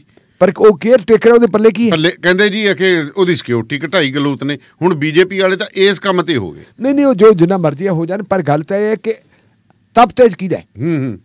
ਜਿਹੜੀ ਸਰਕਾਰ ਉਹ ਤਾਂ ਹਾਰ ਗਿਆ। ਜੀ। ਉਹ ਸਰਕਾਰ ਉਹ ਹਾਰ ਗਿਆ ਤੁਸੀਂ ਜਿੱਤ ਗਏ। ਤੁਹਾਡੇ ਜਿੱਤਣ ਤੋਂ ਬਾਅਦ ਜੇ ਤੁਹਾਡੀ ਪਾਰਟੀ ਦਾ ਤੁਹਾਡੀ ਸਰਕਾਰ ਦਾ ਤਪ ਤੇਜ ਹੁੰਦਾ ਤੇ ਬੰਦਿਆਂ ਦੀ ਜ਼ਰੂਰਤ ਕਿਵੇਂ ਪੈਦੀ? ਜੀ ਜੀ। ਵੀ ਉਹ ਆਉਂਦੇ। ਜਿਵੇਂ ਤੁਸੀਂ ਵਿਆਹ ਦਾ ਕਾਰਡ ਦੱਸਦੇ ਹੋ ਕਹਿੰਦੇ ਇੱਕ ਸਾਫਾ ਵੀ ਲੈ ਕੇ ਆਏ ਹੈ ਹੂੰ ਹੂੰ। ਜਿਹੜਾ ਰਾਜਸਥਾਨੀ ਸਾਫਾ ਵੀ ਲਿਟਿਆ ਹੁੰਦਾ ਮੇਰੇ ਖਿਆਲ ਹੈ ਕੋਈ ਰਵਾਇਤ ਹੈ। ਹਾਂਜੀ। ਕਿ ਜੇ ਤੁਸੀਂ ਇਹਨਾਂ ਤੁਸੀਂ ਸਾਫਾ ਭੇਟ ਕਰਦੇ ਹੋ ਤਾਂ ਉਹਨੂੰ ਇੱਕ ਇੱਜ਼ਤ ਮਾਨ ਵਾਲੀ ਗੱਲ ਸਮਝੀ ਜਾਂਦੀ ਹੈ। ਹੂੰ ਹੂੰ। ਜਿਸ ਢੰਗ ਦੇ ਨਾਲ ਉਹ ਬੰਦੇ ਨੂੰ ਕਤਲ ਕੀਤਾ ਗਿਆ ਔਰ ਜਿਵੇਂ ਅਗਲੀ ਹੁਣ ਇਹਦੀ ਫਿਰ ਬਾਕੀ ਗੱਲ ਦੇਖੋ। ਹੂੰ ਹੂੰ। ਜਦੋਂ ਸਿੱਧੂ ਮੂਸੇਵਾਲੇ ਦਾ ਮਰਡਰ ਹੁੰਦਾ ਹੈ ਜੀ। ਸਿੱਧੂ ਮੂਸੇਵਾਲੇ ਦੇ ਮਰਡਰ ਤੋਂ ਲੈ ਕੇ ਉਹਦਾ ਬਾਪ ਉਹਦੇ ਸ਼ੁਭਚਿੰਤਕ ਸਾਰੇ ਇਹ ਗੱਲ ਕਹਿੰਦੇ ਕਿ ਇਹ ਮਰਡਰ ਜਿਹੜਾ ਹੈਗਾ ਇਹ ਸਧਾਰਨ ਮਰਡਰ ਨਹੀਂ ਬਹੁਤ ਖਤਰਨਾਕ ਹੈ। ਖਤਰਨਾਕ ਮਰਡਰ ਆ ਉਹ ਤੋਂ ਬਾਅਦ ਮਿਸਟਰ ਲਾਰੈਂਸ ਬਿਸ਼ਨੋਈ ਦੀਆਂ ਉੱਪਰੋਂ ਥਲੀ ਦੋ ਇੰਟਰਵਿਊਜ਼ ਹੁੰਦੀਆਂ। ਬਿਲਕੁਲ। ਉਹ ਇੰਟਰਵਿਊਜ਼ ਹੋਣ ਤੋਂ ਬਾਅਦ ਪੰਜਾਬ ਦੀ ਸਰਕਾਰ ਜਾਂ ਪੰਜਾਬ ਦੀ ਪੁਲਿਸ ਨੇ ਕੱਖ ਨਹੀਂ ਕੀਤਾ। ਪਿਛਲੇ ਦਿਨਾਂ ਦੇ ਵਿੱਚ ਫਿਰ ਹਾਈ ਕੋਰਟ ਨੇ ਖਿਚਾਈ ਕੀਤੀ ਹੈ ਪੰਜਾਬ ਪੁਲਿਸ ਦੀ ਕਿ ਦੱਸੋ ਦੱਸੋ ਹੋਇਆ ਕੀ ਤੁਸੀਂ ਕਰਦੇ ਕੀ ਹੋ? ਇੰਨਾ ਚਿਰ ਹੋ ਗਿਆ 8-9 ਮਹੀਨੇ ਹੋ ਗਏ ਸਾਰੀ ਗੱਲ ਆਈ ਨੂੰ ਅਜੇ ਤੱਕ ਇਹ ਨਹੀਂ ਪਤਾ ਲੱਗਿਆ ਕਿ ਇੰਟਰਵਿਊ ਹੋਈ ਤੇ ਹੋਈ ਕਿੱਥੇ ਇਹ ਕਹਿੰਦੇ ਜੀ ਇਹ ਪਤਾ ਲੱਗ ਗਿਆ ਵੀ ਇੰਟਰਵਿਊ ਜੇਲ੍ਹ 'ਚ ਹੋਈ ਹੈ ਕਿਹੜੀ ਜੇਲ੍ਹ 'ਚ ਹੋਈ ਹੈ ਕਦੋਂ ਸਮਾਂ ਹੋਇਆ ਕੀ ਉਹ ਅਸੀਂ ਹਾਲੇ ਪਤਾ ਲਾਉਣਾ। ਉਹਦੇ ਵਿੱਚ ਵੀ ਗੱਲ ਆਈ ਹੈ ਜੀ ਕਹਿੰਦੇ ਜੇਲ੍ਹ 'ਚ ਨਹੀਂ ਹੋਈ ਹੈ। ਇਹ ਜਦੋਂ ਕਿਤੇ ਰਾਜਸਥਾਨ ਦੇ ਕਿਸੇ ਥਾਣੇ 'ਚ ਹੋਈ ਹੈ। ਇਹ ਵੀ ਗੱਲ ਆ ਰਹੀ ਹੈ ਰਾਹ ਦੇ ਵਿੱਚ ਰੋਕ ਕੇ ਰਾਜਸਥਾਨ ਦੇ ਥਾਣੇ 'ਚ ਸਾਰਾ ਕੰਮ ਕਰਵਾਇਆ ਗਿਆ ਚਲੋ ਹੋ ਸਕਦਾ ਉਹ ਵੀ ਕਰਾਵੀ ਪਰ ਜਿਹੜੀ ਜਿਹੜੀ ਪਹਿਲੀ ਸੀ ਦਾਨੇ ਵਾਲੀ ਜਿਹੜੀ ਪਹਿਲੀ ਆਈ ਸੀ ਉਹਦੀ ਇੰਟਰਵਿਊ ਉਦੋਂ ਆਪਣੇ ਡੀਜੀਪੀ ਸਾਹਿਬ ਨੇ ਉਹਦਾ ਖੰਡਨ ਕਰਤਾ। ਕਰਤਾ ਸੀ। ਪਰ ਕੁਝ ਦਿਨਾਂ ਬਾਅਦ ਫਿਰ ਦੁਬਾਰਾ ਉਹ ਕਹਿੰਦਾ ਵੀ ਆਹ ਦੇਖੋ ਜੀ ਮੇਰੀ। ਬੈਰਕ। ਹਾਂ। ਉਹ ਤਾਂ ਫਿਰ ਬੈਰਕ ਵੀ ਦਿਖਾਈ ਜਾਂਦੇ। ਬੈਰਕ ਵੀ ਦਿਖਾਈ ਹੈ ਜਿਹੜੀ ਡੀਜੀਪੀ ਸਾਹਿਬ ਨੇ ਕਿਹਾ ਸੀ ਬਠਿੰਡਾ ਜੇਲ੍ਹ ਦੀ ਤਲਾਸ਼ੀ ਲੈ ਲਈ ਉਹ ਪੀਲੇ ਰੰਗ ਦੀ ਤਾਂ ਟੀ-ਸ਼ਰਟ ਹੀ ਹੈ ਨਹੀਂ। ਉਹ- ਉਹ ਹੀ ਟੀ-ਸ਼ਰਟ ਉਹਨੇ ਪਾਈ ਵੀ ਹੈ ਵੀ ਆਹ ਦੇਖੋ ਜੀ ਉਹੀ ਗੱਲ ਹੈ। ਉਹ ਹੀ ਕਹਿ ਰਿਹਾ ਕਿ ਇੱਥੇ ਸਭ ਚੀਜ਼ ਮਿਲਦੀ ਹੈ ਜੀ। ਰਾਤ ਦੇ ਹਨੇਰੇ ਦੇ ਵਿੱਚ ਇਧਰ ਕੋਈ ਗਾਰਡ ਆਉਂਦਾ ਹੀ ਨਹੀਂ। ਅਸੀਂ ਆਰਾਮ ਦੇ ਨਾਲ ਬੈਠ ਕੇ ਆਪਦੀ ਗੱਲਬਾਤ ਕਰਦੇ ਕੋਈ ਐਸੀ ਗੱਲ ਨਹੀਂ। ਮੰਨ ਲਓ ਚਲੋ ਉਹ ਰਾਜਸਥਾਨ ਦੇ ਚ ਹੋਊਗੀ ਜਿਸ ਵੇਲੇ ਸਿੱਧੂ ਮੂਸੇਵਾਲਾ ਮਰਿਆ ਹੈ ਹੂੰ ਹੂੰ। ਇਹ ਤਾਂ ਇੰਟਰੋਗੇਸ਼ਨ ਦੇ ਵਿੱਚ ਗੱਲਾਂ ਫੇਰ ਆ ਗਈਆਂ ਕਿ ਜਿਹੜਾ ਉਹ ਬੰਦਾ ਜਦੋਂ ਸਿੱਧੂ ਮੂਸੇਵਾਲੇ ਦੇ ਮਰਨ ਦੀ ਇਨਫੋਰਮੇਸ਼ਨ ਆਈ ਹੈ ਤਿਹਾੜ ਜੇਲ੍ਹ ਦੇ ਵਿੱਚ ਜੀ। ਉੱਥੇ ਵੀ ਤਾਂ ਟੈਲੀਫੋਨ ਦੇ ਜਰੀਏ ਜਾਂ ਜ਼ਰੀਏ। ਨੈਟ ਦੇ ਜਰੀਏ ਆਈ ਹੂੰ, ਹੂੰ। ਉਹ ਕਿਵੇਂ ਆ ਗਈ? ਉਹ ਉਹਨੂੰ ਕਿਵੇਂ ਸੁੱਤੇ ਆ ਪੈ ਨੂੰ ਉਠਾ ਕੇ ਦੱਸਿਆ ਗਿਆ। ਹਾਂ ਹਾਂ। ਚਲੋ ਉਹ ਛੱਡੋ। ਹੁਣ ਇਹ ਦੱਸੋ ਕਿ ਜਦੋਂ ਇਸ ਵੇਲੇ ਉਹਨੂੰ ਪ੍ਰੋਟੈਕਟ ਕਿਵੇਂ ਕੀਤਾ ਜਾ ਰਿਹਾ ਹੂੰ? ਹੂੰ ਉਹ ਬੰਦਾ ਇਸ ਵੇਲੇ ਕਿੱਥੇ ਹੈ ਜੀ? ਗੁਜਰਾਤ ਦੀ ਜੇਲ੍ਹ ਗੁਜਰਾਤ ਹੈ। ਜੇਲ੍ਹ 'ਚ ਹੈ। ਔਰ ਸੀਆਰਪੀਸੀ ਦੀ ਮੇਰਾ ਖਿਆਲ ਧਾਰਾ 168 ਜਾਂ 268 ਹੈ ਹਾਂ ਜਿਹਦੇ ਰਾਹੀਂ ਇਹ ਪ੍ਰਬੰਧ ਕੀਤਾ ਗਿਆ ਕਿ ਇੱਕ ਸਾਲ ਦੇ ਲਈ ਉਹਨੂੰ ਕਿਸੇ ਵੀ ਅਦਾਲਤ 'ਚ ਪੇਸ਼ ਨਹੀਂ ਕੀਤਾ ਐ ਕੋਕੇ ਹਾਂ ਜੜਦੇ ਉਹ ਕਿਉਂ ਕਹਿੰਦੇ ਉਹਦੇ ਵਿੱਚ ਇਹ ਪ੍ਰਬੰਧ ਹੈ ਕਿ ਜਦੋਂ ਕਿਸੇ ਬੰਦੇ ਦੀ ਜਾਨ ਨੂੰ ਖਤਰਾ ਹੋਵੇ ਉਹਨੂੰ ਬਚਾਉਣ ਵਾਸਤੇ ਜ਼ਰੂਰੀ ਹੈ ਜੀ ਉਹ ਬਾਹਰ ਨਹੀਂ ਜਾਊਗਾ ਇਹ ਇਹਦੇ ਵਿੱਚ ਕਹਿੰਦੇ ਸੀ ਪ੍ਰਬੰਧ ਕਰਤਾ ਹੈ। ਪੁਲਿਸ ਨੇ ਆਪਣੇ ਲੈਵਲ ਤੇ ਕਰ ਦਿੱਤਾ ਹੈ। ਗੁਜਰਾਤ ਦੀ ਪੁਲਿਸ ਨੇ ਕੀਤਾ ਹੈ। ਇਹਨੂੰ ਨਾਲ ਅਗਲੀ ਵੀ ਗੱਲ ਜੋੜ ਕੇ ਦੇਖੋ ਤੁਸੀਂ ਸਲਮਾਨ ਖਾਨ ਜਦੋਂ ਸਲਮਾਨ ਖਾਨ ਨੂੰ ਟਾਰਗੇਟ ਕੀਤਾ ਜਾਂਦਾ ਹੈ। ਇਹ ਸਾਰੀਆਂ ਗੱਲਾਂ ਜੋੜ ਕੇ ਜੇ ਹੁਣ ਆਪਾਂ ਇਹ ਦੇਖੀਏ ਭਾਵੇਂ ਹੁਣ ਅਸ਼ੋਕ ਗਹਿਲੋਤ ਨੂੰ ਬੀਜੇਪੀ ਕਹੀ ਜਾਵੇ ਹੂੰ। ਸੈਂਟਰ ਦੇ ਵਿੱਚ ਤਾਂ ਸਰਕਾਰ ਤੁਹਾਡੀ ਹੈ ਐਨਆਈਏ ਤੁਹਾਡੀ ਹੈ। ਐਨਆਈਏ ਤੁਹਾਡੀ ਹੈ। ਦਿੱਲੀ ਦਿੱਲੀ ਦੀ ਪੁਲਿਸ ਦੇ ਕੋਲੇ ਜਿੱਥੇ ਸਪੈਸ਼ਲ ਸੈੱਲ ਸੀ ਉਹ ਤੁਹਾਡਾ ਉਹ ਵੀ ਤਾਂ ਦਿੱਲੀ ਉਹਨਾਂ ਦੇ ਮਤਹਿਤ ਨਹੀਂ ਗਿਆ ਸਾਰਾ ਕੁਝ ਉੱਥੇ ਕੀਤਾ ਕਰਾਇਆ। ਇਹ ਫਿਰ ਸਾਰਾ ਕੁਝ ਹੋ ਕਿਵੇਂ ਗਿਆ? ਕੀ ਕਈ ਵਾਰੀ ਦਾਨੇ ਵਾਲੀਆ ਸਾਹਿਬ ਇਹ ਹੁੰਦਾ ਕਿ ਜਦੋਂ ਕੋਈ ਵੱਡਾ ਕੰਮ ਲੈਣਾ। ਮਿਸ਼ਨ ਹੋਵੇ ਨਾ ਵੱਡੀ ਕੋਈ ਪ੍ਰਾਪਤੀ ਕਰਨੀ ਹੋਵੇ ਉਦੋਂ ਕਈ ਵਾਰੀ ਬੰਦੇ ਮਰਵਾਏ ਵੀ ਜਾਂਦੇ ਮਰਵਾਏ ਵੀ ਜਾਂਦੇ। ਇਹ ਸਟੇਟ ਜਿਹੜੀ ਸਟੇਟ ਹੈ ਸਟੇਟ ਬੜਾ ਕੁਝ ਕਰ ਲੈਂਦੀ ਹੁੰਦੀ ਹੈ। ਬੜੇ ਵੱਡੇ ਵੱਡੇ ਥਾਵਾਂ ਦੇ ਉੱਤੇ ਆਪਾਂ ਦੇਖਿਆ ਵੀ ਕਿਹੋ ਜਿਹੀ ਕੀ ਕੁਝ ਹੁੰਦੀ ਵੀ ਇਸ ਵਾਸਤੇ ਜੋ ਕੁਝ ਹੋ ਰਿਹਾ ਬਹੁਤ ਮਾੜਾ ਹੋ ਰਿਹਾ ਹੈ ਕਿਉਂਕਿ ਰਾਜਸਥਾਨ ਦੇ ਵਿੱਚ ਜੇ ਅੱਗ ਲੱਗਦੀ ਹੈ ਤਾਂ ਸੇਕ ਇੱਥੋਂ ਤੱਕ ਪਹੁੰਚ ਗਿਆ ਜੀ ਦੇਖੋ ਢਿੱਲੋਂ। ਸਾਹਿਬ ਖਬਰਾਂ ਆ ਰਹੀਆਂ। ਅੱਜ ਬੰਦ ਸੀ। ਜੀ। Ajmer Delhi highway jam. ਜੀ। ਤਸਵੀਰਾਂ ਚ ਇਕੱਠ ਦਿਸ ਰਿਹਾ ਢਿੱਲੋਂ ਸਾਹਿਬ। ਮੇਰੇ ਖਿਆਲ ਸਿਰ ਨਾਲ ਸਿਰ ਜੁੜਿਆ ਪਿਆ ਲੋਕਾਂ ਦਾ। ਜੀ ਜੀ ਜੀ। ਤੇ ਰਾਜਸਥਾਨ ਦੇ ਵਿੱਚ ਜਿਹੜਾ ਬੀਜੇਪੀ ਦਾ ਹੈੱਡਕੁਆਟਰ ਹੈ ਉਹਦੇ ਬਾਹਰ ਪੂਰਾ ਜ਼ਬਰਦਸਤ ਪ੍ਰਦਰਸ਼ਨ ਸੜਕਾਂ ਦੇ ਉੱਤੇ ਅੱਗਾਂ ਲਾਈਆਂ ਵੀਆਂ ਟਾਇਰਾਂ ਨੂੰ। ਇੱਕ ਦੋ ਥਾਂ ਤੇ ਕਹਿੰਦੇ ਟਰੱਕ ਵੀ ਕਿਸੇ ਨੂੰ ਅੱਗ ਲੱਗੀ ਹੈ। ਉਦੇਪੁਰ ਦੇ ਵਿੱਚ ਬਹੁਤ ਸਥਿਤੀ ਚਿੰਤਾਜਨਕ ਹੈ। ਰਾਜਸਥਾਨ ਦੇ ਵਿੱਚ ਚਿੰਤਾਜਨਕ ਹੈ। ਹਜੇ ਹੋਰ ਜਿਹੜੀਆਂ ਘਟਨਾ ਆ ਰਹੀਆਂ ਵੀ ਧੂਆਂ ਹੀ ਧੂਆਂ ਜਿਹੜਾ ਲਪਟਾਂ ਹੀ ਲਪਟਾਂ ਜਿਹੜੀਆਂ ਟਾਇਰਾਂ ਦੇ ਉਹ ਦਿਸ ਰਹੀਆਂ। ਟਾਇਰਾਂ ਨੂੰ ਅੱਗਾਂ ਲਾ ਕੇ ਜਿਹੜੀਆਂ ਸੜਕਾਂ ਤੇ ਕੀਤੀਆਂ। ਰੇਲ ਜਾਮ ਕਰਤੀ ਹੈ। ਰੇਲਵੇ ਸਟੇਸ਼ਨ ਦੇ ਉੱਤੇ ਜਿਹੜਾ ਕੀ ਕਹਿੰਦੇ ਲੋਕ ਪਹੁੰਚ ਗਏ ਨੇ। ਐਂਡ ਡਰ ਵਾਲਾ ਮਾਹੌਲ ਪੈਦਾ ਹੋ ਚੁੱਕਿਆ ਹਾਈਵੇ ਤੇ ਸਫ਼ਰ ਕਰਨ ਵਾਲੇ ਲੋਕਾਂ ਨੂੰ। ਦਾਰੇ ਵਾਲੀ ਸਾਹਿਬ ਮੈਂ ਸੁਣ ਰਿਹਾ ਸੀ ਇੱਕ ਬੁਲਾਰੇ ਨੂੰ ਜਿਹੜਾ ਬੋਲ ਰਿਹਾ ਸੀ ਸ਼ਾਇਦ ਕੋਈ ਵੱਡਾ ਲੀਡਰ ਹੀ ਹੋਵੇ। ਉਹ ਕਹਿ ਰਿਹਾ ਸੀ ਕਿ ਜਿੰਨੀ ਦੇਰ ਤੱਕ ਜਿਨ੍ਹਾਂ ਬੰਦਿਆਂ ਨੇ ਸੁਖਦੇਵ ਸਿੰਘ ਗੋਗਾ ਮੇੜੀ ਦਾ ਕਤਲ ਕੀਤਾ ਹੈ ਜਿੰਨੀ ਦੇਰ ਤੱਕ ਉਹਨਾਂ ਦਾ ਐਨਕਾਊਂਟਰ ਨਹੀਂ ਹੁੰਦਾ ਉਨੀ ਦੇਰ ਤੱਕ ਰਾਜਸਥਾਨ ਦੇ ਨਵੇਂ ਮੁੱਖ ਮੰਤਰੀ ਨੂੰ ਸੌ ਨਹੀਂ ਚੁੱਕਣ ਦੇਾਂਗੇ ਔਰ ਇਹ ਗੱਲ ਕਹੇ ਕਿ ਪ੍ਰਾਈਮ ਮਿਨਿਸਟਰ ਨੂੰ ਰਾਜਸਥਾਨ 'ਚ ਪੈਰ ਨਹੀਂ ਰੱਖਣ ਦੇਵਾਂਗੇ। ਜੇ ਇਹ ਗੱਲ ਆਉਂਦੀ ਹੈ ਕਹਿੰਦੇ ਉਹਨਾਂ ਦਾ ਐਨਕਾਊਂਟਰ ਹੋਵੇ ਔਰ ਅਗਲੀ ਗੱਲ ਕੀ ਕਹਿੰਦੇ ਆ? ਵੀ ਜਿਹੜੇ ਆਪ ਕੰਡੇ ਬੀਜਿਆ ਚੁਗਣ ਵਾਲੀ ਗੱਲ ਆਉਂਦੀ ਹੈ ਉਹ ਕਹਿੰਦੇ ਯੂਪੀ ਦੇ ਵਿੱਚ ਸਰਕਾਰ ਕਿਹਦੀ ਹੈ ਹੂੰ। ਭਾਰਤੀ ਜਨਤਾ ਪਾਰਟੀ। ਦੇ ਯੂਪੀ 'ਚ ਐਨਕਾਊਂਟਰ ਹੁੰਦੇ ਫਿਰ ਰਾਜਸਥਾਨ 'ਚ ਐਨਕਾਊਂਟਰ ਕਿਉਂ ਨਹੀਂ ਹੁੰਦਾ? ਕਿਉਂ ਨਹੀਂ ਹੁੰਦੇਗੇ? ਉਹ ਜਿਹੜੀਆਂ ਹੱਥਾਂ ਨਾਲ ਦਿੱਤੀਆਂ ਹੁੰਦੀਆਂ ਨਾ ਫਿਰ ਉਹ ਐ ਐ ਗੰਢਾਂ ਜਿਹੜੀਆਂ ਫਿਰ ਦੰਦਾਂ ਨਾਲ ਖੋਲਣੀਆਂ ਪੈਂਦੀਆਂ। ਇਹ ਸਵਾਲ ਖੜੇ ਕਰਤੇ ਉਹਨਾਂ ਨੇ। ਜਦੋਂ ਸਭ ਜਿਹੜੀ ਚੀਜ਼ ਹੈ ਦੇਖੋ ਇੱਕ ਫੌਜੀ ਦਾ ਹੋਣਾ ਪਹਿਲਾਂ ਤੁਹਾਨੂੰ ਕੀ ਯਾਦ ਹੋਊਗਾ ਸੀਆਰ ਆਪਣੇ ਆਰਪੀਐਫ ਦੇ ਸਿਪਾਹੀ ਨੇ ਮੁਸਲਮਾਨ ਦੇ ਗੋਲੀ ਮਾਰੀ। ਹਾਂਜੀ। ਹੁਣ ਇਹਦੇ ਵਿੱਚ ਵੀ ਹਰਿਆਣਾ ਦੇ ਮਿੰਦਰਗੜ੍ਹ ਦਾ ਦੱਸਿਆ ਜਾ ਰਿਹਾ। ਜੀ। ਜਿਹੜਾ ਮੁੰਡਾ ਉਹ ਜਿਹੜਾ ਕੀ ਕਹਿੰਦੇ ਉਹਦਾ ਨਾਂ ਹੈਗਾ ਨਿਤਨ ਫੌਜੀ। ਉਹ ਛੁੱਟੀ ਲੈ ਕੇ ਆਉਂਦਾ। ਜੀ। ਉਹਦੇ ਨਾਲ ਚਲੋ ਨਾਲ ਹੀ ਕੀ ਕਹਿੰਦੇ ਆ ਮਕਰਾਣਾ ਉੱਥੋਂ ਦਾ ਰੋਹਿਤ ਹੈ। ਉਹ ਆਇਡੈਂਟੀਫਾਈ ਹੋਏ ਜਿਨ੍ਹਾਂ ਨੇ ਇੱਕ ਫੌਜੀ ਆ ਕੇ ਇਹੋ ਜਿਹਾ ਕ੍ਰਾਈਮ ਕਰਦਾ ਤੇ ਇਹਦਾ ਮਤਲਬ ਫੌਜ ਦੇ ਵਿੱਚ ਵੀ ਸਭ ਕੁਝ ਅੱਛਾ ਨਹੀਂ ਅੱਗੇ ਫੌਜ ਨੂੰ ਤਾਂ ਬੜਾ ਫਿਲਟਰ ਕਰਕੇ ਚੱਲਦੇ ਸੀ। ਨਹੀਂ ਇਹ ਤਾਂ ਮਤਲਬ ਇਹ ਹੈ ਕਿ ਜਿਹੜੇ ਜਿਹੜੇ ਗੈਂਗਸਟਰ ਹੈ ਗੈਂਗਸਟਰਾਂ ਦੀ ਪਹੁੰਚ ਹੁਣ ਸਾਡੀਆਂ ਫੌਜਾਂ ਤੱਕ ਫੌਜਾਂ ਦੇ ਵਿੱਚ ਹੋ ਗਈ। ਤੇ ਜੇ ਗੈਂਗਸਟਰ ਫੌਜਾਂ ਤੱਕ ਪਹੁੰਚ ਜਾਣ ਇਹਦਾ ਮਤਲਬ ਫਿਰ ਹਥਿਆਰਾਂ ਦੇ ਤਾਂ ਫਿਰ ਹਥਿਆਰਾਂ ਦੇ ਨਹੀਂ ਜੀ ਇਸ ਹਿਸਾਬ ਦੇ ਨਾਲ ਤਾਂ ਫਿਰ ਸਲਮਾਨ ਖਾਨ ਵੀ ਸੁਰੱਖਿਅਤ ਨਹੀਂ ਬਚਦੇ ਸੁਰੱਖਿਅਤ ਨਹੀਂ ਵੱਜਦਾ। ਜੇ ਆਰਮੀ ਦੇ ਬੰਦੇ ਆ ਕੇ ਟਾਰਗੇਟ ਕਰਨ ਲੱਗੇ ਕਿ ਜਿਸ ਢੰਗ ਦੇ ਨਾਲ ਤੁਸੀਂ ਉਹ ਤਸਵੀਰਾਂ ਦੇਖੋ ਹੂੰ ਹੂੰ। ਗੋਗਾ ਮੇਡੀ ਸਾਹਿਬ ਨੂੰ ਜਿਵੇਂ ਕਤਲ ਕੀਤਾ ਜਾ ਰਿਹਾ ਜਿਵੇਂ ਜਿੱਡੇ ਢੰਗ ਨਾਲ ਉਹਨੂੰ ਬੜੇ ਆਰਾਮ ਨਾਲ ਮਰਿਆ। ਹੂੰ ਹੂੰ ਬੜੇ ਆਰਾਮ ਨਾਲ ਮਾਰੇ ਬੜੇ ਆਰਾਮ ਨਾਲ ਮਰਿਆ ਜੀ ਉਹ ਬੰਦਾ ਤਾਂ ਉਸ ਪੂਰਾ ਟ੍ਰੇਨ ਬੰਦਾ ਹੀ ਉਹ ਕਰ ਸਕਦਾ। ਹੈ। ਹਰ ਇੱਕ ਬੰਦੇ ਨੂੰ ਤਾਂ ਇਹ ਨਹੀਂ ਪਤਾ ਵੈਪਨ ਹੈਂਡਲ ਕਿਵੇਂ ਕਰਨਾ। ਹੈ। ਹੈਂਡਲ ਕਿਵੇਂ ਕਰਨਾ ਹੈ? ਬਿਲਕੁਲ ਸਿਆਣੀ ਗੱਲ ਹੈ। ਔਰ ਉਹ ਪਿਸਟਲ ਹੈ ਜਿਹੜਾ ਹੈਗਾ ਪਿਸਟਲ ਦੇ ਨਾਲ ਬਾਰ-ਬਾਰ ਕਰਦੇ ਬਾਹਰ ਜਦੋਂ ਭਜਦੇ ਆ ਉਸ ਵੇਲੇ ਵੀ ਫਾਇਰਿੰਗ ਕਰਦੇ ਯਾਰ ਇਹ। ਹੂੰ ਹੂੰ ਹੂੰ ਹੂੰ। ਤੇ ਜਿਹੜਾ ਪਿਸਟਲ ਹੈ ਕਿੰਨਾ ਖਤਰਨਾਕ ਹੈ ਇਹਦਾ ਤਾਂ ਕੋਈ ਪਤਾ ਨਹੀਂ। ਵੈਸੇ ਤਾਂ ਅੱਜ ਕੱਲ ਕਹਿੰਦੇ ਵੀ ਜਿਹੜੇ ਇੰਡੀਆ ਦੇ ਵਿੱਚ ਪਿਸਟਲ ਬੈਨ ਹੈ। ਉਹ ਪਿਸਟਲ ਉਹਨਾਂ ਦੇ ਕੋਲੇ ਆ ਰਹੇ ਤੇ ਫਿਰ ਇਹ ਗੱਲ ਜਿਵੇਂ ਹੁਣ ਉਹ ਰਾਜਪੂਤ ਕਹਿ ਰਹੇ ਆ ਉੱਥੇ ਕਿ ਇਨਕਾਊਂਟਰ ਕਿਉਂ ਨਹੀਂ ਹੁੰਦਾ? ਚਲੋ ਸਾਹਿਬ ਮੈਂ ਤੁਹਾਨੂੰ ਇੱਕ ਚੀਜ਼ ਦੱਸਾਂ। ਤੁਸੀਂ ਪਿਸਟਲ ਦੀ ਗੱਲ ਛੇੜ। ਹਾਂਜੀ। ਜੇਕਰ ਅੱਜ ਵੀਆਈਪੀ ਲੋਕਾਂ ਦੇ ਜਿਹੜੇ ਅਸਲ ਜਾਇਜ਼ ਅਸਲੇ ਨੇ ਉਹਨਾਂ ਦੇ ਉੱਤੇ ਚੜੇ ਹਥਿਆਰਾਂ ਦੀ ਜਾਂਚ ਕਰਵਾਈ ਜਾਵੇ। ਤਾਂ ਕਹਿੰਦੇ ਕਿ 50% ਤੋਂ ਵੱਧ ਜਿਹੜਾ ਉਹਨਾਂ ਦੇ ਕਾਗਜ਼ਾਂ ਤੇ ਅਸਲਾ ਚੜਿਆ ਉਹ ਨਜਾਇਜ਼ ਤਰੀਕੇ ਨਾਲ ਆਇਆ ਹੋਇਆ। ਅਸਲ ਦੇ ਵਿੱਚ ਉਹ ਬੋਰ ਉਹੀ ਹੈ। ਮੇਕ ਬਹੁਤ ਪੁਰਾਣੇ ਨੇ। ਨਵੇਂ ਆ ਕੇ ਉਹੀ ਨੰਬਰ ਲਾ ਕੇ ਉਹਨਾਂ ਦੇ ਨਾਂ ਤੇ ਚੜ ਗਏ। ਪੁਰਾਣਾ ਪਿਸਟਲ ਗਾਇਬ ਖਤਮ ਮੇਕ ਨਵਾਂ ਆ ਗਿਆ। ਕੱਲ ਮੈਂ ਚੰਡੀਗੜ੍ਹੋਂ ਆ ਰਹੀ ਟਲਸ ਪਜੇਰੋ ਗੱਡੀ ਹੈ। ਪੁਲਿਸ ਵਾਲੀ ਬੱਤੀ ਜਾਲੀਆਂ 'ਚ ਵੀ ਲੱਗੀ ਹੈ ਉੱਤੇ ਵੀ ਲੱਗੀ ਹੈ ਕੱਲਾ ਕਹਿਰਾ ਮੁੰਡਾ ਹੈ। ਹੂੰ। ਦੱਬੀ ਆਉਂਦਾ ਹੂਟਰ ਲੱਗਿਆ ਹੋਇਆ। ਹੈ। ਹੂੰ। ਹਰੇਕ ਟੌਮ ਡਿਕ ਐਂਡ ਹੈਰੀ ਉਹੀ ਨੀਲੀ ਲਾਲ ਨੀਲੀ ਲਾਲ ਐਂ ਬੱਤੀ ਲਾਈ ਬੈਠਾ। ਕੋਈ ਚੈੱਕ ਨਹੀਂ। ਹੈਰਾਨੀ ਦੀ ਗੱਲ ਆ ਉਹ ਪੁਲਿਸ ਨਾਲ ਮਿਲਦੀ ਬੱਤੀ ਆ- ਆ- ਆਟੋ ਰਿਕਸ਼ਿਆਂ ਵਾਲੇ ਵੀ ਲਾਈ ਫਿਰਦੇ ਆ। ਹੂੰ ਹੋਰਾਂ ਤੇ ਵੀ ਲੱਗੇ। ਪਰ ਜਿਹੜੀ ਗੱਡੀਆਂ ਦੇ ਉੱਤੇ ਖਤਰਨਾਕ ਲੱਗਣੀ ਮੇਰੇ ਅੱਗੇ ਪੁਲਿਸ ਦਾ ਨਾਕਾ ਸੀ। ਹੂੰ ਦਵਾ ਦਬ ਖਿੱਚਤਾ। ਹੂਟਰ ਮਾਰਿਆ ਕਿਸੇ ਨੇ ਨਹੀਂ ਪੁੱਛਿਆ। ਉਹਨੇ ਪਿੱਛੋਂ ਹੀ ਬੱਤੀ ਛੱਡਤੀ। ਟੋਲ ਟੈਕਸ ਵਾਲਿਆਂ ਨੇ ਨਾਲ ਦੀ ਨਾਲ ਬੰਬੂ ਚੱਕਤਾ। ਕੋਈ ਚੈੱਕ ਕਰਨ ਵਾਲਾ ਨਹੀਂ। ਬਠਿੰਡੇ ਦੇ ਵਿੱਚ ਸਥਿਤੀ ਇਹ ਹੈ। ਕੋਈ ਲੀਡਰ ਆ ਹੁਣ ਜੋ ਪਿੱਛੇ ਜੇ ਮੁੰਡਾ ਮਰਿਆ ਆਪਣਾ ਵਪਾਰੀ ਉਦੋਂ ਮੈਂ ਗੱਡੀਆਂ ਦੇਖੀਆਂ ਚਲੋ ਤਾਂ ਲੀਡਰ ਪਰ ਉਹਨਾਂ ਦੇ ਵਿੱਚ ਵੀ ਪੁਲਿਸ ਪੁਲਿਸ ਕੋਲੇ ਖੜੀ ਨੇ ਕਿ ਉਹ ਗੱਡੀਆਂ ਦੇ ਡਰਾਈਵਰਾਂ ਨੂੰ ਪੁੱਛਿਆ ਵੀ ਇਹ ਬੱਤੀਆਂ ਕਿਵੇਂ ਲਾਈਆਂ ਨੇ। ਸ਼ਰੇਆਮ ਦਿਸ ਰਹੀਆਂ ਅੱਗੇ ਬੱਤੀਆਂ ਪਈਆਂ। ਪੁਲਿਸ ਦੀ ਗੱਡੀ ਦੀ ਚਲੋ ਉੱਤੇ ਚੱਕਵੀਂ ਜੀ ਬੱਤੀ ਹੈ ਇਹ ਦੂਰੋਂ ਕਿਹਨੂੰ ਪਤਾ ਵੀ ਪੁਲਿਸ ਦੀ ਗੱਡੀ ਆ ਬਿਲਕੁਲ, ਕਿਹਦੀ ਗੱਡੀ ਹੈ। ਨੀਲੀ ਲਾਲ ਨੀਲੀ ਲਾਲ ਐਂ ਚੱਲਦੀ ਹੈ। ਹੁਣ ਜੇ ਪੰਜਾਬ ਦੇ ਵਿੱਚ ਇਹ ਸਥਿਤੀ ਬਣੀ ਹੋਈ ਹੈ ਵੀ ਕਿ ਕੋਈ ਬੰਦਾ ਉਸ ਨੂੰ ਚੈੱਕ ਹੀ ਨਹੀਂ ਕਰ ਰਿਹਾ। ਖਰ ਬਠਿੰਡੇ 'ਚ ਫ਼ਰਕ ਪਿਆ ਹੁਣ ਥੋੜਾ ਜਿਹਾ। ਹਜੇ ਬੱਤੀਆਂ ਨੂੰ ਕੋਈ ਚੈੱਕ ਨਹੀਂ ਕੀਤਾ। ਬੱਤੀਆਂ ਬੱਤੀਆਂ ਵਾਲਾ ਚਲੋ ਪੈ ਜਾਊਗਾ ਆਪਾਂ ਅੱਜ ਹੁਣ ਗੱਲ ਪੜਾਕੇ highlight- ਤਾਂ ਦੋ ਕੁ ਜਾਣੇ ਹੁਣ ਹੈਗੇ ਆ ਉਹ ਮਾਰਦੇ ਬਾਕੀ ਤਾਂ ਖਤਮ ਹੋ ਗਿਆ। ਹਾਂ, ਹਾਂ। ਪਰ ਜਿਹੜਾ ਬੱਤੀਆਂ ਵਾਲਾ ਵੀ ਜਿਹੜਾ ਸਿਲਸਿਲਾ ਨਾ ਮੈਂ ਦੇਖੋ ਕਿੱਥੋਂ ਚੱਲਿਆ ਕੋਈ ਰਾਹ 'ਚ ਚੈਕਿੰਗ ਨਹੀਂ ਕੋਈ ਨਹੀਂ। ਜੇ ਕੋਲ ਦੀ ਵੀ ਲੰਘ ਗਿਆ ਤਾਂ ਵੀ ਪੁਲਿਸ ਵਾਲੇ ਨਹੀਂ ਬੁਲਾਉਂਦੇ। ਹੂੰ। ਮੈਂ ਹੈਰਾਨ ਹਾਂ ਇਸ ਗੱਲ ਤੋਂ ਕਿ ਜੇਕਰ ਪਿਸਤੌਲਾਂ ਦੀ ਵੀ ਮੈਂ ਗੱਲ ਕੀਤੀ ਇਹ ਵੀ ਗੱਲ ਕੀਤੀ ਇਹਦਾ ਮਤਲਬ ਕੋਈ ਬੰਦਾ ਕਿਸੇ ਨੂੰ ਹੱਥ ਹੀ ਨਹੀਂ ਪਾ ਰਿਹਾ। ਨਹੀਂ ਦਾਨੇਵਾਲੀਆ ਸਾਹਿਬ ਜਿਹੜੀ ਤੁਸੀਂ ਪਿਸਤੌਲਾਂ ਦੀ ਗੱਲ ਕੀਤੀ ਹੈ ਨਾ ਹਾਂ। ਮੇਰਾ ਤਾਂ ਇਹ ਮੰਨਣਾ ਹੈ ਕਿ ਸਾਰੇ ਪੁਲਿਸ ਅਫਸਰਾਂ ਦੀ ਜੀ। ਸਾਰੇ ਪੋਲੀਟੀਕਲ ਲੀਡਰਾਂ ਦੇ ਜਿਹੜੇ ਵੈਪਨ ਹੈ। ਉਹਨਾਂ ਦੀ ਇਨਸਪੈਕਸ਼ਨ ਹੋਣੀ ਚਾਹੀਦੀ ਹੈ। ਹਾਂ। ਉਹ ਵੈਪਨ ਹੈ ਕਿਹੜੀ? ਹੈ ਕਿਹੜੇ? ਉਹ ਵੈਪਨ ਅਸਲ ਦੇ ਵਿੱਚ ਉਹ ਹੈ ਜਿਹੜੇ ਖਾੜਕੂਆਂ ਦੇ ਕੋਲੇ ਹੁੰਦੇ ਸੀ ਜਿਹੜੇ ਚੰਗੇ ਵੈਪਨ ਸੀ ਉਹ ਸਾਰੇ ਪੁਲਿਸ ਅਫਸਰਾਂ ਨੇ ਆਪਦੇ ਕੋਲੇ। ਰੱਖ ਲਏ ਬਾਅਦ ਦੇ ਵਿੱਚ ਇਹਨਾਂ ਨੇ ਗਨ ਹਾਊਸਸ ਤੋਂ ਜਾਲੀ ਬਿੱਲ ਬਣਵਾ ਕੇ ਜੀ। ਔਰ ਆਪੋ ਆਪਣੇ ਆਪਣੇ ਪਰਿਵਾਰਾਂ ਦੇ ਤੇ ਆਪਣੇ ਨਾਂ ਦੇ ਉੱਤੇ ਚੜਵਾਏ। ਉਹਦੇ ਪਰਿਵਾਰਾਂ ਤੇ ਪਰਿਵਾਰ ਤੁਸੀਂ ਚੜ- ਚੜਵਾ ਕੇ ਦੇਖੋ ਤੁਹਾਨੂੰ ਇੰਨੇ ਵੈਪਨ ਮਿਲ ਜਾਣਗੇ। ਹੂੰ ਹੂੰ। ਜਿਹੜੇ ਦੋ ਨੰਬਰ 'ਚ ਹੈ ਸਰ। ਦੋ ਨੰਬਰ 'ਚ ਉਹ ਸਾਰੇ ਦਾ ਸਾਰਾ ਜਿਹੜੇ ਜਿਹੜੇ ਜਿਹੜੇ ਫੜੇ ਹੋਏ ਸੀ। ਫੜੇ ਹੋਏ ਕੇਸ ਪ੍ਰਾਪਰਟੀ ਕੇਸ ਪ੍ਰਾਪਰਟੀਆਂ ਉਹ ਕਿੱਧਰ ਗਏ? ਉਹ ਉਹ ਉਹ 99.9% ਜਿਹੜੇ ਪੁਲਿਸ ਵਾਲਿਆਂ ਦੇ ਪਰਿਵਾਰਾਂ ਦੇ ਕੋਲੇ ਵੈਪਨ ਹੈ ਨਾ ਵੱਡੇ ਅਫਸਰਾਂ ਦੇ ਕੋਲੇ। ਉਹ ਸਾਰੇ ਉਹ ਹੈ। ਹੂੰ। ਔਰ ਵੱਡੇ ਲੀਡਰਾਂ ਕੋਲੇ। ਵੱਡੇ ਲੀਡਰਾਂ ਕੋਲੇ। ਉਹ ਸਾਰੇ ਉਹਨਾਂ ਲੀਡਰਾਂ ਨੇ ਪ੍ਰੋਵਾਈਡ ਕੀਤੇ ਉਹਨਾਂ ਨੂੰ। ਨਹੀਂ ਔਰ ਜੇ ਜੇ ਕੋਈ ਪੁੱਛਣਾ ਚਾਹੇ ਤਾਂ ਆਪਾਂ ਇੱਕ ਦੋ ਗਨ ਹਾਊਸਾਂ ਦੇ ਨਾਮ ਵੀ ਦੱਸ ਦਿਆਂਗੇ। ਜੀ ਹਾਂ ਪਤਾ ਹੀ ਹੈ ਪਤਾ ਹੀ ਆਪਾਂ ਨੂੰ ਵੀ ਕੋਟਕਪੂਰੇ ਵਾਲੇ ਤੇ।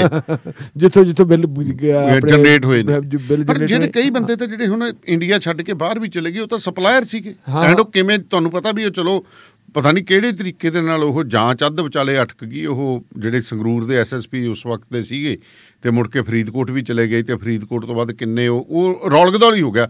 ਜਿਵੇਂ ਬਠਿੰਡੇ ਤੋਂ ਇੱਕ ਮੈਡੀਕਲ ਯੂਨੀਵਰਸਿਟੀ ਤੋਂ ਨਕਲੀ ਖੂਨ ਦੀ ਜਾਂਦੀ ਖੇਪ ਹੀ ਰੌਲਗਦੌਲ ਹੋ ਗਈ। ਹਾਂ ਹਾਂ ਹਾਂ ਹਾਂ। ਉਵੇਂ ਪਿਸਤੌਲਾਂ ਦੀ ਜਾਂਚ ਰੌਲਗਦੌਲ ਹੋ ਬਿਲਕੁਲ ਬਿਲਕੁਲ ਬਿਲਕੁਲ ਬਿਲਕੁਲ ਬੜਾ ਕੁਝ ਹੁੰਦਾ। ਹੈ। ਉਹਦੇ ਚ ਕਹਿੰਦੇ ਕਿਉਂਕਿ ਇੰਡੀਆ ਦੇ ਵੱਡੇ ਘਰਾਣੇ ਨਾਲ ਜੁੜਿਆ ਨਾਂ ਸੀਗਾ ਉਹਨਾਂ ਦੀ ਲੈਬ ਦੇ ਵਿੱਚ ਉਹ ਜਾ ਰਿਹਾ ਕਹਿੰਦੇ ਨਕਲੀ ਖੂਨ ਸੀ। ਹਾਂਜੀ ਹਾਂਜੀ ਬਿਲਕੁਲ ਬਿਲਕੁਲ। ਉਹ ਤਾਂ ਫੜ ਹੀ ਲਿਆ ਸੀ ਫੜ ਹੀ ਲਿਆ ਸੀ। ਫੜਿਆ ਪਰ ਉਹ ਉਹ ਆਪਣੇ ਕੋਲੇ ਲਿਫਾਫੇ ਦੇ ਤੁਰੇ ਫਿਰਦੇ ਰਹੇ ਤੁਰੇ ਫਿਰਦੇ ਹੀ ਰਹੇ। ਹਾਂ ਜਿਵੇਂ ਆ ਤੁਹਾਡਾ ਕੀ ਕਹਿੰਦੇ ਇੱਥੋਂ ਵਾਲਾ ਕੀ ਕਹਿੰਦੇ ਲਹਿਰਾ ਮੁਹੱਬਤ ਵਾਲੇ ਡੈਟੋਨੇਟਰ ਹੀ ਗਾਇਬ ਉਹ ਵੀ ਜਾਂਚ ਗਾਇਬ, ਬਿਲਕੁਲ। ਬਿਲਕੁਲ, ਬਿਲਕੁਲ, ਉਹ। ਗੱਡੀ ਨੂੰ ਪੁੱਛਿਆ ਹੀ ਨਹੀਂ ਕਿਸੇ ਨੇ ਵੀ ਕਿੱਥੋਂ ਆਇਆ ਕੀ ਆਇਆ। ਕਿਹਦੇ ਚ ਸੀ ਉਹ ਤਾਂ ਸਿਕਿਉਰਿਟੀ ਅਫਸਰ ਦੀ ਗੱਲ ਚ ਪਾਤੀ ਸੀ ਨਹੀਂ ਉਹ ਤਾਂ। ਤੁਸੀਂ ਦੇਖੋ ਕਿ ਉਸ ਮਾਮਲੇ ਨੂੰ ਰਫਾ ਦਫਾ ਕਰਨ ਵਾਸਤੇ ਚੰਡੀਗੜ੍ਹੋਂ ਤੋਂ ਅਫਸਰ ਆ ਗਏ ਸੀ ਹੂੰ ਹੂੰ ਆਪਾਂ ਸਾਰੇ ਸੀਆਈਏ ਦੇ ਆਲੇ ਦੁਆਲੇ ਖੜੇ ਹੀ ਸਾਂ। ਖੜੇ ਸੀ, ਹਾਂ। ਉਹਨੂੰ ਉਹਨੂੰ ਉਹਨੂੰ ਮਤਲਬ ਰਫਾ ਦਫਾ ਕਰਨ ਵਾਸਤੇ ਇੱਕ ਤਾਂ ਉਹਦਾ ਕੇਸ ਨੂੰ ਟ੍ਰੇਸ ਕਰਨ ਵਾਸਤੇ ਵੱਡੇ ਅਫਸਰ ਆਉਂਦੇ। ਵੱਡੇ ਅਫਸਰ ਆਉਂਦੇ। ਉਦੋਂ ਇਹ ਸੀ ਕਿ ਇਹਨੂੰ ਰਫਾ ਦਫਾ ਕੀਤਾ ਜਾਵੇ। ਹੂੰ, ਹੂੰ। ਉਹ ਰਫਾ ਦਫਾ ਕੀਤੇ ਜਾਂਦੇ। ਇਹੀ ਤਾਂ ਚੀਜ਼ਾਂ ਸਾਰੀਆਂ। ਡੈਟੋਨੇਟਰ ਕੋਈ ਛੋਟੀ ਗੱਲ ਨਿੱਕੀ ਗੱਲ ਨਹੀਂ ਹੈ ਨਿੱਕੀ ਗੱਲ ਨਹੀਂ ਬਿਲਕੁਲ।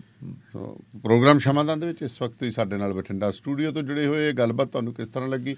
ਸੋ ਜੁੜੇ ਰਹੋ ਰੇਡੀਓ ਪੰਜਾਬ ਟੂਡੇ ਦੇ ਨਾਲ। ਇੱਕ ਫਿਲਹਾਲ ਇੱਕ ਬ੍ਰੇਕ ਬ੍ਰੇਕ ਤੋਂ ਬਾਅਦ ਫਿਰ ਹਾਜ਼ਰ ਹੋਣਾ। ਸਭ ਮਡੇਰਾ ਵਾਲੇ ਲੋਕਲ ਟਰੱਕ ਵੀਰਾਂ ਨੂੰ ਡੀਜ਼ਲ ਭਰਵਾਉਣ ਤੇ 39 ਸੈਂਟਸ ਪਰ ਗੈਲਨ ਦੀ ਰਿਬੇਟ ਦੇ ਰਹੇ ਹਨ। ਮੰਥ ਦੇ ਅਖੀਰ ਤੇ ਚੈੱਕ ਸਿੱਧਾ ਘਰੇ ਪਹੁੰਚ ਜਾਏਗਾ। 25 ਏਕੜ ਦੇ ਇਸ ਕੰਪਲੈਕਸ 'ਚ ਹਨ ਸਾਫ਼ ਸੁਥਰੇ ਸ਼ਾਵਰ ਟਾਇਰ ਸ਼ਾਪ ਤੇ ਰਿਪੇਅਰ ਸ਼ਾਪ ਵੀ ਜਲਦੀ ਸ਼ੁਰੂ ਹੋਣਗੇ। ਦੇਸੀ ਘਿਓ ਦੇ ਤੜਕੇ ਵਾਲਾ ਪਿਓਰ ਪੰਜਾਬੀ ਵੈਜ ਤੇ ਨਾਨ ਵੈਜ ਖਾਣਾ। ਫਿਰ ਕਿਤੇ ਹੋਰ ਕਿਉਂ ਜਾਣਾ? Refresh travel plaza T Madera exit 144 highway 99 call Sachin Malik ਜਾਂ ਰਵੀ ਗਰੇਵਾਲ at 5599647787 ਬਹੁਤ ਜਲਦ ਬੇਕਰਸਫੀਲਡ ਵੀ ਖੁੱਲ ਰਿਹਾ ਹੈ ਇੱਕ ਨਵਾਂ pilot truck stop 99 and Taft highway ਤੇ ਬਾਈ ਜੀ ਨਵੀਂ DD15 ਚਲਾਉਂਦੇ ਜਾਂ ਬੇਕਾਰ max force Cummins ISX Volvo, Mercedes Sprinter ਜਿਹੀ ਮੋਟਰ ਹੋਵੇ ਤੇਲ ਹੋਰ origignal ਫਿਲਟਰ ਤਾਂ ਚੇਂਜ ਕਰਾਉਣਾ ਹੀ ਆ ਆ ਜਾਓ ਫਿਰ quick truck lube truck servicing ਵਾਹ ਭਾਈ ਵਾਹ ਕੋਈ ਅਪਾਇੰਟਮੈਂਟ ਨਹੀਂ ਡਰਾਈਵ ਥਰੂ ਫੈਸਿਲਿਟੀ ਯੂਜ਼ ਕਰੋ ਦੋ ਲੋਕੇਸ਼ਨਸ ਤੁਸੀਂ ਜਾਣਦੇ ਹੀ ਹੋ exit 268 on highway 401 or exit 5 on QEW quick truck lube ਖੁਸ਼ ਹੋ ਕੇ ਪਰਤੋਗੇ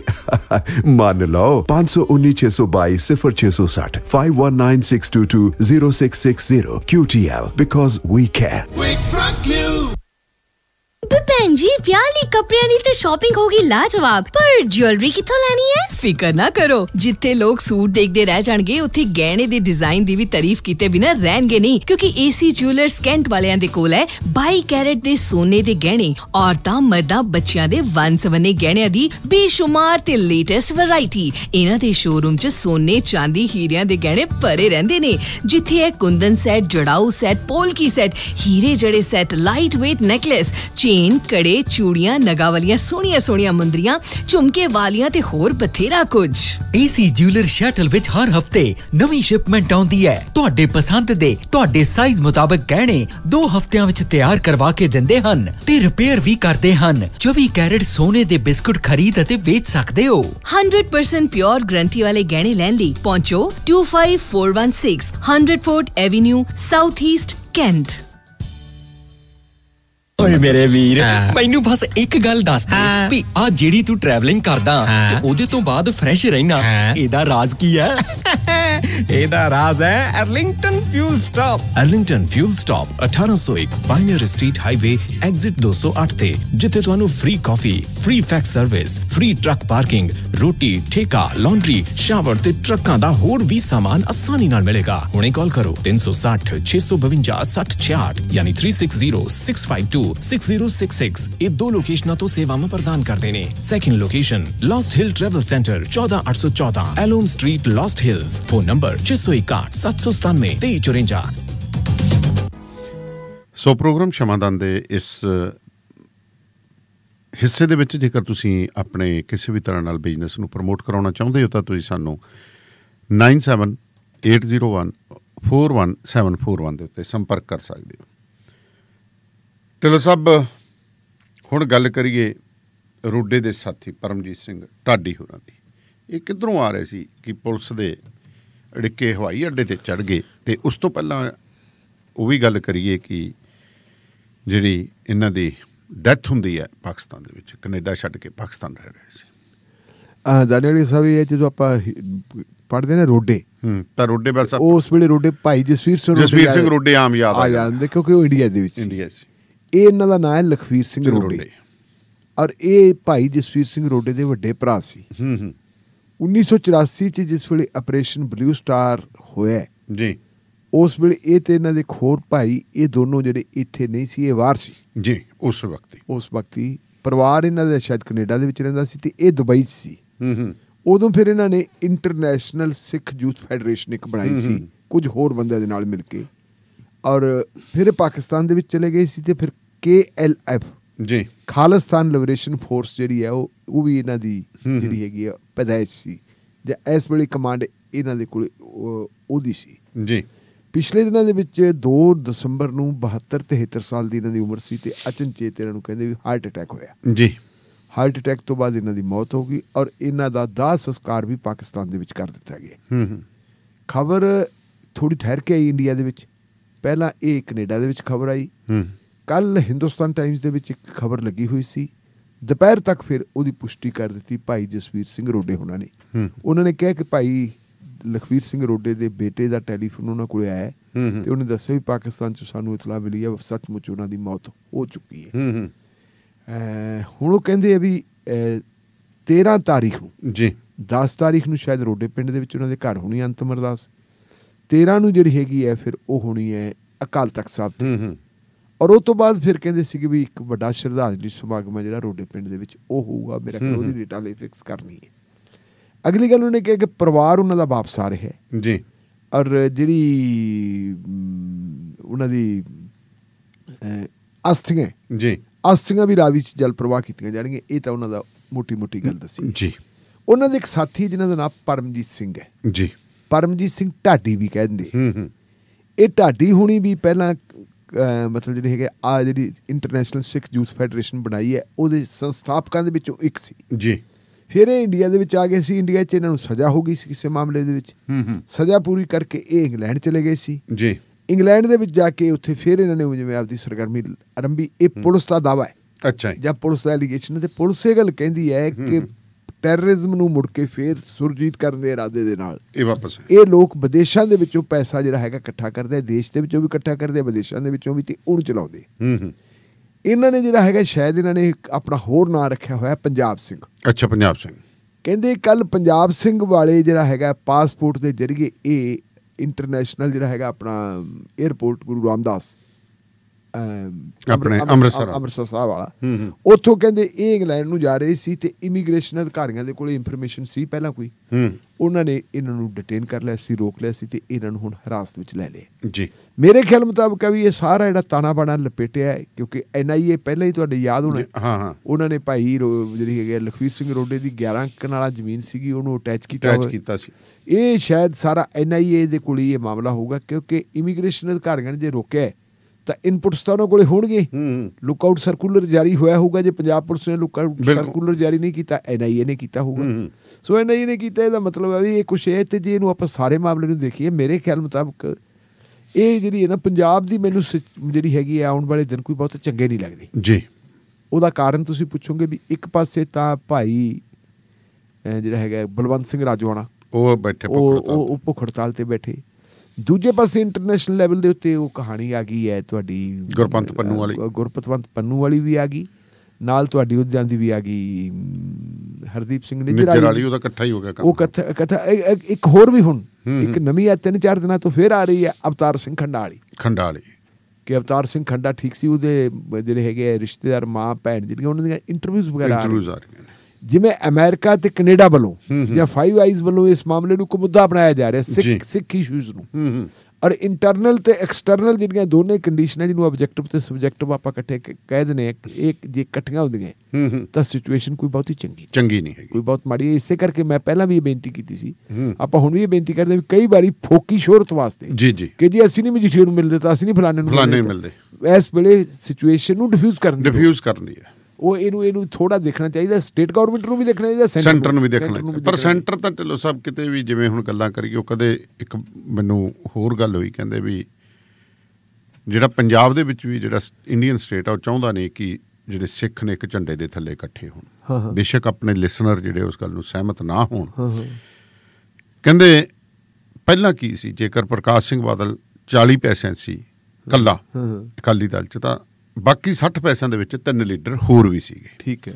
ਲੋੜ ਪੈਣ ਤੇ ਕੇਂਦਰ ਜਿਹੜਾ ਇਹਨਾਂ ਨੂੰ ਇੱਕ ਝੰਡੇ ਥੱਲੇ ਇਕੱਠੇ ਹੋਣ ਤੋਂ ਰੋਕ ਲੈਂਦੀ ਸੀ। ਹਾਂ ਹਾਂ। ਪ੍ਰਕਾਸ਼ ਸਿੰਘ ਬਾਦਲ ਨੇ ਆਪਣੀ ਤਾਕਤ ਦੇ ਵਿੱਚ ਕਿਵੇਂ ਨਾ ਕਿਵੇਂ ਕਰਕੇ ਉਹ 90 ਪੈਸਿਆਂ 'ਚ ਹੋ ਗਿਆ ਤੇ ਬਾਕੀ ਸਿੱਖ ਲੀਡਰ 10 ਪੈਸਿਆਂ 'ਚ ਰਹਿ ਗਏ। ਫਿਰ ਕਹਿੰਦੇ ਸਿਲਸਿਲਾ ਸ਼ੁਰੂ ਹੋਇਆ ਵੀ ਹੁਣ ਇਸ ਪਰਿਵਾਰ ਨੂੰ ਵੀ ਡਾਊਨ ਕੀਤਾ ਜਾਵੇ। ਤੇ ਇਸ ਪਰਿਵਾਰ ਨੂੰ ਡਾਊਨ ਕਰਕੇ ਕਿਉਂਕਿ ਇਹ ਹੈ ਵੀ ਜਿਵੇਂ ਤੁਸੀਂ ਦੇਖਿਆ ਕਿ ਮੋਦੀ ਦਾ ਮੂੰਹ ਕਿਹਨੇ ਮੋੜਿਆ? ਪੰਜਾਬ ਨੇ। ਹੋਰ ਗੱਲਾਂ ਹੋਈਆਂ। ਪੰਜਾਬ ਨੇ ਉਹ ਨਹੀਂ ਚਾਹੁੰਦੇ ਕਿ ਪੰਜਾਬ ਦਾ ਜਿਹੜੇ ਸਿੱਖ ਨੇ ਖਾਸ ਕਰਕੇ ਉਹ ਇੱਕ ਝੰਡੇ ਥੱਲੇ ਇਕੱਠੇ ਹੋਣ। ਕੱਲ ਨੂੰ ਇੱਕ ਜੁਆਇੰਟ ਕਾਲ ਆ ਜਾਂਦੀ ਹੈ ਤਾਂ ਫਿਰ ਖਤਰਨਾਕ ਸਥਿਤੀ ਪੈਦਾ ਹੋ ਸਕਦੀ ਦਾਨਿਆਲੀ ਸਾਹਿਬ ਮੈਂ ਤੁਹਾਡੀ ਸਾਰੀ ਗੱਲ ਨਾਲ ਸਹਿਮਤ ਹਾਂ। ਹੂੰ। ਲੇਕਿਨ ਮੈਂ ਇੱਕ ਪਰਿਵਾਰ ਵਾਲੀ ਗੱਲ ਨਾਲ ਸਹਿਮਤ ਨਹੀਂ ਭਾਵੇਂ ਉਹਨਾਂ ਕੋਲੇ 90 ਪੈਸੇ ਤੱਕ ਤੱਕ ਹੀ ਸੀ। ਕਿਉਂਕਿ ਉਹ ਤਾਂ ਉਹਨਾਂ ਦੇ ਮੁਤਾਬਕ ਹੀ ਚੱਲਦੇ ਸੀ। ਚੱਲਦੇ ਸੀ। ਉਹ ਉਹ ਪਰਿਵਾਰ ਤਾਂ ਉਹਨਾਂ ਦੇ ਮੁਤਾਬਕ ਜੋ ਚਾਹੁੰਦੇ ਸੀ ਉਵੇਂ ਹੀ ਪਰ ਚੱਲਦੇ ਫਿਰ ਵੀ ਚੱਲਦੇ ਸੀ ਪਰ ਡਰ ਤਾਂ ਢਿੱਲੋਂ ਸਭ ਸਿਆਸਤ ਆ। ਨਹੀਂ ਡਰ ਜਿਹੜੀ ਸੀ ਡਰ ਉਸ ਵੇਲੇ ਤੱਕ ਸੀ। ਡਰ ਜਦੋਂ ਸੀ ਫਰਜ਼ ਕਰੋ ਜਦੋਂ ਜ- ਆਪਾਂ ਬਾਕੀ ਅਕਾਲੀ ਦਲਾਂ ਨੂੰ ਛੱਡ ਦਈਏ ਜਿਹੜੇ ਸਪਲੈਂਡਰ ਅਕਾਲੀ ਦਲ ਜਿਹੜਾ ਇੱਕੋ ਹੀ ਅਕਾਲੀ ਦਲ ਸੀ। ਜਿਹਨੂੰ ਬਾਦਲ ਅਕਾਲੀ ਦਲ ਵੀ ਕਹਿ ਲਈਏ ਆਪਾਂ ਕੋਈ ਵੀ ਅਕਾਲੀ ਦਲ ਇਸ ਅਕਾਲੀ ਦਲ ਦੇ ਤਿੰਨ ਲੀਡਰ ਹੁੰਦੇ ਸੀ। ਜੀ। ਪ੍ਰਕਾਸ਼ ਸਿੰਘ ਬਾਦਲ ਸੁਖਦੇਵ ਸਿੰਘ ਸੁਖਦੇਵ ਨਹੀਂ। ਜਥੇਦਾਰ ਜਗਦੇਵ ਸਿੰਘ ਤਲਵੰਡੀ ਔਰ ਗੁਰਚਰਨ ਸਿੰਘ ਟੌੜਾ। ਹੁਣ ਤੁਸੀਂ ਇਹ ਦੇਖੋ ਕਿ ਅੱਜ ਗੁਰਚਰਨ ਜਿਹੜੇ ਜਥੇਦਾਰ ਜਗਦੇਵ ਸਿੰਘ ਤਲ- ਤਲਵੰਡੀ ਦਾ ਬੇਟਾ ਰਣਜੀਤ ਸਿੰਘ ਵੀ ਚਲਾ ਗਿਆ। ਪਰਿਵਾਰ ਹੀ ਖਤਮ ਹੋ ਗਿਆ। ਉਹ ਵੀ ਚਲਾ ਗਿਆ ਪਰਿਵਾਰ ਖਤਮ ਹੋ ਗਿਆ। ਜਦੋਂ ਇਹ ਤਿੰਨ ਲੀਡਰ ਇਕੱਠੇ ਹੁੰਦੇ ਸੀ ਪ੍ਰਕਾਸ਼ ਸਿੰਘ ਬਾਦਲ ਦੀ ਸਥਿਤੀ ਇਹ ਹੁੰਦੀ ਸੀ ਕਿ ਪ੍ਰਕਾਸ਼ ਸਿੰਘ ਬਾਦਲ ਦੀਆਂ ਤਨਾਵਾਂ ਉਹਨਾਂ ਦੇ ਹੱਥ ਵਿੱਚ ਹੁੰਦੀਆਂ ਸੀ। ਪ੍ਰਕਾਸ਼ ਸਿੰਘ ਬਾਦਲ ਨੂੰ ਉਹ ਮਰਜ਼ੀ ਨਹੀਂ ਕਰਨ ਦਿੰਦੇ ਸੀ ਦੋ ਲੀਡਰ। ਦੋ ਲੀਡਰ। ਉਹ ਇਹ ਵੀ ਇੰਨਾ ਕੁ ਕਰ ਉਸ ਤੋਂ ਬਾਅਦ ਫਿਰ ਉਹ ਜਿਹੜੀ ਹੈਗੇ ਜੋ ਦਿੱਲੀ ਨਾਲ ਗੱਲ ਹੋਣੀ ਹੁੰਦੀ ਸੀ ਉਹ ਕਹਿੰਦੇ ਸੀ ਕਿ ਜਦੋਂ ਤਿੰਨੇ ਲੀਡਰ ਜਾ ਕੇ ਦਿੱਲੀ ਨਾਲ ਗੱਲ ਕਰਦੇ ਸੀ ਜੀ। ਟੌੜਾ ਸਾਹਿਬ ਦਾ ਤੇ ਤਲਵੰਡੀ ਸਾਹਿਬ ਦਾ ਤਪ ਤੇਜ ਦਿੱਲੀ ਚੱਲਦੀ ਨਹੀਂ ਸੀ। ਚੱਲਦੀ ਨਹੀਂ ਸੀ। ਠੀਕ ਹੈ ਹੌਲੀ ਹੌਲੀ ਕਰਕੇ ਜਿਵੇਂ ਜਦੋਂ ਤਾਕਤਾਂ ਸਾਰੀਆਂ 1999 ਤੋਂ ਕੰਮ ਸ਼ੁਰੂ ਹੋਏ ਹੂੰ ਹੂੰ। ਤ੍ਰੈ ਸ਼ਤਾਬਦੀ ਜਦੋਂ ਆਈ ਹੈ ਉਸ ਤ੍ਰੈ ਸ਼ਤਾਬਦੀ ਦੀ ਵੇਲੇ ਜਦੋਂ ਭਾਈ ਰਣਜੀਤ ਸਿੰਘ ਹੋਰਾਂ ਨੇ ਕਿਹਾ ਵੀ ਭਾਈ ਤੁਸੀਂ ਇਕੱਠੇ ਮਨਾ ਲਓ। ਜੀ।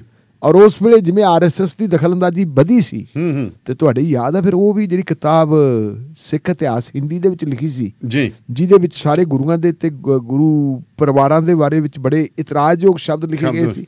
ਇਹ ਸਾਰਾ ਮਾਮਲਾ ਉਦੋਂ ਸ਼ੁਰੂ ਹੋਇਆ ਸੀ। ਹੂੰ ਹੂੰ। ਔਰ ਮੈਂ ਕੱਲ ਪਰਸ ਪਰਸੋਂ ਦੀ ਗੱਲ ਹੈ ਪਰਸੋਂ ਮੈਂ ਭਾਈ ਮਨਜੀਤ ਸਿੰਘ ਹੋਰਾਂ ਦੀ ਇੱਕ ਇੰਟਰਵਿਊ ਸੁਣ ਰਿਹਾ ਸਾਂ। ਜੀ। ਉਹ ਕਿਸੇ ਚੈਨਲ ਦੇ ਉੱਤੇ ਹੋਰ ਕਿਤੇ ਇੰਟਰਵਿਊ ਕਰ ਰਹੇ ਸੀ ਉਹ ਕਹਿੰਦੇ ਵੀ ਉਹਨਾਂ ਦਿਨਾਂ ਦੇ ਵਿੱਚ ਜਦੋਂ ਖਾਲਸਾ ਪੰਥ ਦੀ ਤ੍ਰੈ ਸ਼ਤਾਬਦੀ ਮਨਾਈ ਗਈ ਸੀ ਕਹਿੰਦੇ ਆਰਐਸਐਸ ਵਾਲੇ ਡਾਂਗਾ ਲੈ ਕੇ ਆ ਗਏ। ਅੱਛਾ ਜੀ।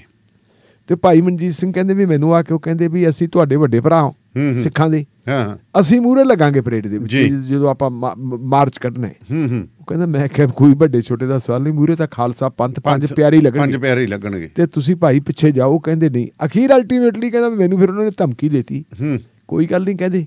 ਹੁਣ ਤਾਂ ਮੂਹਰੇ ਨਹੀਂ ਲੱਗਣਦੇ। ਅਗਾਹ ਨੂੰ ਕਹਿੰਦੇ ਅਕਾਲ ਤਖਤ ਦਾ ਜਥੇਦਾਰ ਵੀ ਸਾਡੀ ਚਿੱਠੀ ਚੋਂ ਚਿੱਠੀ ਚੋਂ ਹੀ ਨਿਕਲਿਆ ਕਰੂਗਾ। ਇਸ ਕਰਕੇ ਹਾਲਾਤ ਜਿਹੜੇ ਉੱਥੋਂ ਦੇ ਬਣ ਗਏ। ਇਹ ਠੀਕ ਹੈ ਕਿ ਜਿਹੜੀ ਹਾਂ ਇਹ ਗੱਲ ਆਪਾਂ ਨੂੰ ਮੰਨਣੀ ਪੈਣੀ ਹੈ ਕਿ ਪੰਜਾਬ ਦੀਆਂ 13 ਸੀਟਾਂ ਹੈ। 13 ਸੀਟਾਂ ਜੇ 13 ਦੀ ਕੀਮਤ ਦੇ ਤੇ 303 ਆਉਂਦੀ ਤਾਂ ਉਹਨੂੰ 13 ਦੀ ਕੋਈ ਲੋੜ ਨਹੀਂ। 13 ਦੀ ਕੋਈ ਲੋੜ ਨਹੀਂ। ਅਬ ਕੀਤਾ ਇਹਨਾਂ ਨੇ? ਇਹ ਇਹ ਹੀ ਹੈ ਨਾ ਇਸ ਕਰਕੇ ਸਾਡੇ। ਇਹ ਸਾਡੇ ਹੁਣ ਜਿਹੜੇ ਬੰਦਿਆਂ ਨੂੰ ਕਈ ਵਾਰੀ ਬੜਾ ਭੁਲੇਖਾ ਨਾ ਵੀ ਅਸੀਂ ਜੀ ਸਾਡੀਆਂ ਸਾਨੂੰ ਤਾਂ ਉਹਨਾਂ ਨੇ ਇੱਕ ਇੱਕ ਹਊਗਾ ਬਣਾ ਕੇ ਹਊਗਾ ਬਣਾਇਆ ਵੀ। ਬਾਕੀ ਭਾਰਤ ਦੇ ਵਿੱਚ ਹਊਗਾ ਬਣਾ ਕੇ ਕਿ ਬੰਦੇ ਬੜੇ ਖਤਰਨਾਕ ਖਤਰਨਾਕ ਨੇ। ਇਹਨਾਂ ਤੁਸੀਂ ਦੇਖ ਲਓ ਭਾਈ ਕੀ ਕੁਝ ਇਹ- ਕੀਤਾ ਇਹ ਇਹਨਾਂ ਨੇ ਕੀ ਕੀਤਾ? ਉਦੋਂ ਹੀ ਉਦੋਂ ਹੀ ਤੁਸੀਂ ਇਹ ਦੇਖੋ 1984 ਚ ਇੰਦਰਾ ਗਾਂਧੀ ਦੇ ਮਰਨ ਤੋਂ ਬਾਅਦ ਜਿਹੜੀ ਅਗਲੀ ਚੋਣ ਹੁੰਦੀ ਹੈ। ਜੀ। ਅਗਲੀ ਚੋਣ ਦੇ ਵਿੱਚ ਰਾਜੀਵ ਗਾਂਧੀ ਦੀ ਸਪੋਰਟ ਆਰਐਸਐਸ ਨੇ ਵੀ ਕੀਤੀ ਸੀ ਬਿਲਕੁਲ ਕੀਤੀ। ਜਦੋਂ 84 ਦੇ ਕਤਲੇਆਮ ਚ ਆਰਐਸਐਸ ਸਪੋਰਟ ਕਰ ਸਕਦੀ। ਤੇ ਸਿਆਸਤ ਦੇਖੋ ਜੀ ਜੋ ਮਰਜ਼ੀ ਹੈ ਉਹਨਾਂ ਲਈ ਤਾਂ ਹਿੰਦੂ ਇੱਕ ਲੀਡਰ ਹੈ ਹਾਂ ਹਾਂ ਉਹਨਾਂ ਨੇ ਇਹ ਕੀ ਲੈਣਾ ਵੀ ਮੋਦੀ ਹੀ ਹੋਵੇ? ਉਹ ਤਾਂ ਕਹਿੰਦੇ ਕੁਮਾਰ ਹੋਵੇ ਬਸ। ਉਹ ਨਹੀਂ ਕੁਮਾਰ ਉਹਨਾਂ ਵਾਸਤੇ ਹਿੰਦੂਇਜ਼ਮ। ਹਿੰਦੂਇਜ਼ਮ। ਸੌਫਟ ਹਿੰਦੂਇਜ਼ਮ ਚਾਹੇ ਹਾਰਡ ਹਿੰਦੂਇਜ਼ਮ। ਦੋਨੇ ਕਰੋ ਉਹਨਾਂ ਨੂੰ ਤਾਂ ਹਿੰਦੂਇਜ਼ਮ ਚਾਹੀਦਾ। ਹਿੰਦੂਇਜ਼ਮ ਚਾਹੀਦੀ। ਬਿਲਕੁਲ ਬਿਲਕੁਲ। ਉਹਨਾਂ ਨੂੰ ਨਾ ਵੀਪੀ ਸਿੰਘ ਚਾਹੀਦਾ ਸੀ ਨਾ। ਚੰਦਰ ਸ਼ੇਖਰ ਚਾਹੀਦਾ ਸੀ। ਨਾ, ਨਾ, ਉਹਨਾਂ ਨੂੰ ਇਹ ਬੰਦੇ ਨਹੀਂ ਸੀ ਚਾਹੀਦੇ। ਬਿਲਕੁਲ, ਬਿਲਕੁਲ, ਉਹਨਾਂ ਨੂੰ ਇਹੀ ਬੰਦੇ ਚਾਹੀਦੇ ਸੀ। ਇਹੀ ਬੰਦੇ ਸੂਟ ਕਰਦੇ ਆ। ਬਿਲਕੁਲ ਬਿਲਕੁਲ। ਤੇ ਹੁਣ ਗੱਲ ਕਰੀਏ ਆਪਾਂ ਇੱਕ ਲੀਡਰ ਕਹਿੰਦਾ ਹੈ ਕਿ ਮੈਂ ਤਾਂ ਮੁੱਖ ਮੰਤਰੀ ਦੇ ਅਹੁਦੇ ਦਾ ਕਦੇ ਦਾਅਵੇਦਾਰ ਹੀ ਨਹੀਂ ਸੀ ਮੈਨੂੰ ਤਾਂ ਉਹੀ ਬਣਾ ਦਿੰਦੇ ਸੀ। ਦਾਨੇਲੀਆ ਸਾਹਿਬ ਜਿਹੜਾ ਕਹਿੰਦਾ ਮੈਂ ਕਦੇ ਦਾਅਵੇਦਾਰ ਨਹੀਂ ਤਾਂ ਮਤਲਬ ਅਜੇ ਵੀ ਦਾਅਵੇਦਾਰ ਹੈ। ਅਜੇ ਵੀ ਦਾਅਵੇਦਾਰ ਹੈ। ਇਹ ਇਹ ਗੱਲ ਕਹੀ ਹੈ ਸ਼ਿਵਰਾਜ ਸਿੰਘ ਚੌਹਾਨ ਨੇ। ਜੀ। ਜਿਹੜੇ ਪਹਿਲਾਂ ਤਿੰਨ ਵਾਰੀ ਮੁੱਖ ਮੰਤਰੀ ਉੱਥੇ ਦੇ ਮੇਰੇ ਖਿਆਲ ਰਹਿ ਚੁੱਕੇ ਚਾਰ ਵਾਰੀ ਰਹਿ ਚੁੱਕੇ ਸ਼ਾਇਦ ਪੰਜਵੀਂ ਵਾਰੀ ਹੁਣ ਉਹਨਾਂ ਨੇ ਬਣਨਾ ਬਣਨਾ ਹੋਵੇ ਹੋਵੇ ਜੀ। ਉਹਨਾਂ ਨੂੰ ਬਿਲਕੁਲ ਇਗਨੋਰ ਕਰਤਾ ਸੀ। ਹੂੰ ਹੂੰ। ਜਿਹੜੀਆਂ ਪਹਿਲੀਆਂ ਟਿਕਟਾਂ ਦਿੱਤੀਆਂ ਗਈਆਂ ਸੀ ਪਹਿਲੀ ਲਿਸਟ ਆਈ ਸੀ ਉਸ ਲਿਸਟ ਦੇ ਵਿੱਚ ਮੱਧ ਪ੍ਰਦੇਸ਼ ਦੇ ਵਿੱਚ ਉਹਨਾਂ ਦਾ ਨਾਂ ਹੈ ਨਹੀਂ ਸੀ। ਜੀ। ਔਰ ਸਾਡੇ ਪ੍ਰਧਾਨ ਮੰਤਰੀ ਸਾਹਿਬ ਤੇ ਸਾਡੇ ਜਿਹੜੇ ਗ੍ਰਹਿ ਮੰਤਰੀ ਸਾਹਿਬ ਜਦੋਂ ਕੰਪੇਨ ਤੇ ਜਾਂਦੇ ਹੁੰਦੇ ਸੀ ਸ਼ਿਵਰਾਜ ਸਿੰਘ ਚੌਹਾਨ ਦਾ ਨਾਂ ਨਹੀਂ ਲੈਂਦੇ ਸੀ। ਹੂੰ ਹੂੰ। ਲੇਕਿਨ ਸ਼ਿਵਰਾਜ ਸਿੰਘ ਚੌਹਾਨ ਨੂੰ ਸ਼ਾਇਦ ਨਾਗਪੁਰ ਤੋਂ ਥਾਪੜਾ ਸੀ। ਹੂੰ ਉਹ ਬੰਦਾ ਫਰਸਟ੍ਰੇਟ ਹੋ ਕੇ ਬੈਠਾ ਨਹੀਂ ਸੀ। ਜੀ। ਉਹ ਤੁਰਿਆ ਫਿਰਦਾ ਸੀ ਤੇ ਇੱਕ ਵਾਰੀ ਮੋਦੀ ਸਾਹਿਬ ਦੇ ਸਾਹਮਣੇ ਉਹਨੇ ਕਹਿ ਦਿੱਤਾ ਵੀ ਦੇਖੋ ਜੀ ਗੱਲ ਪ੍ਰਧਾਨ ਮੰਤਰੀ ਤੁਸੀਂ ਕਿਹਨੂੰ ਚਾਹੁੰਦੇ ਹੋ? ਮੋਦੀ ਸਾਹਿਬ ਨੂੰ ਦੁਬਾਰਾ। ਹੂੰ। ਤੇ ਲੋਕਾਂ ਨੇ ਕਹਿਤਾ ਹਾਂਜੀ। ਹਾਂਜੀ। ਉਹ ਕਹਿੰਦਾ ਮੇਰੀ ਕਾਰਗੁਜ਼ਾਰੀ ਬਤੌਰ ਮੁੱਖ ਮੰਤਰੀ ਚੰਗੀ ਹੈ ਕਿ ਮਾੜੀ।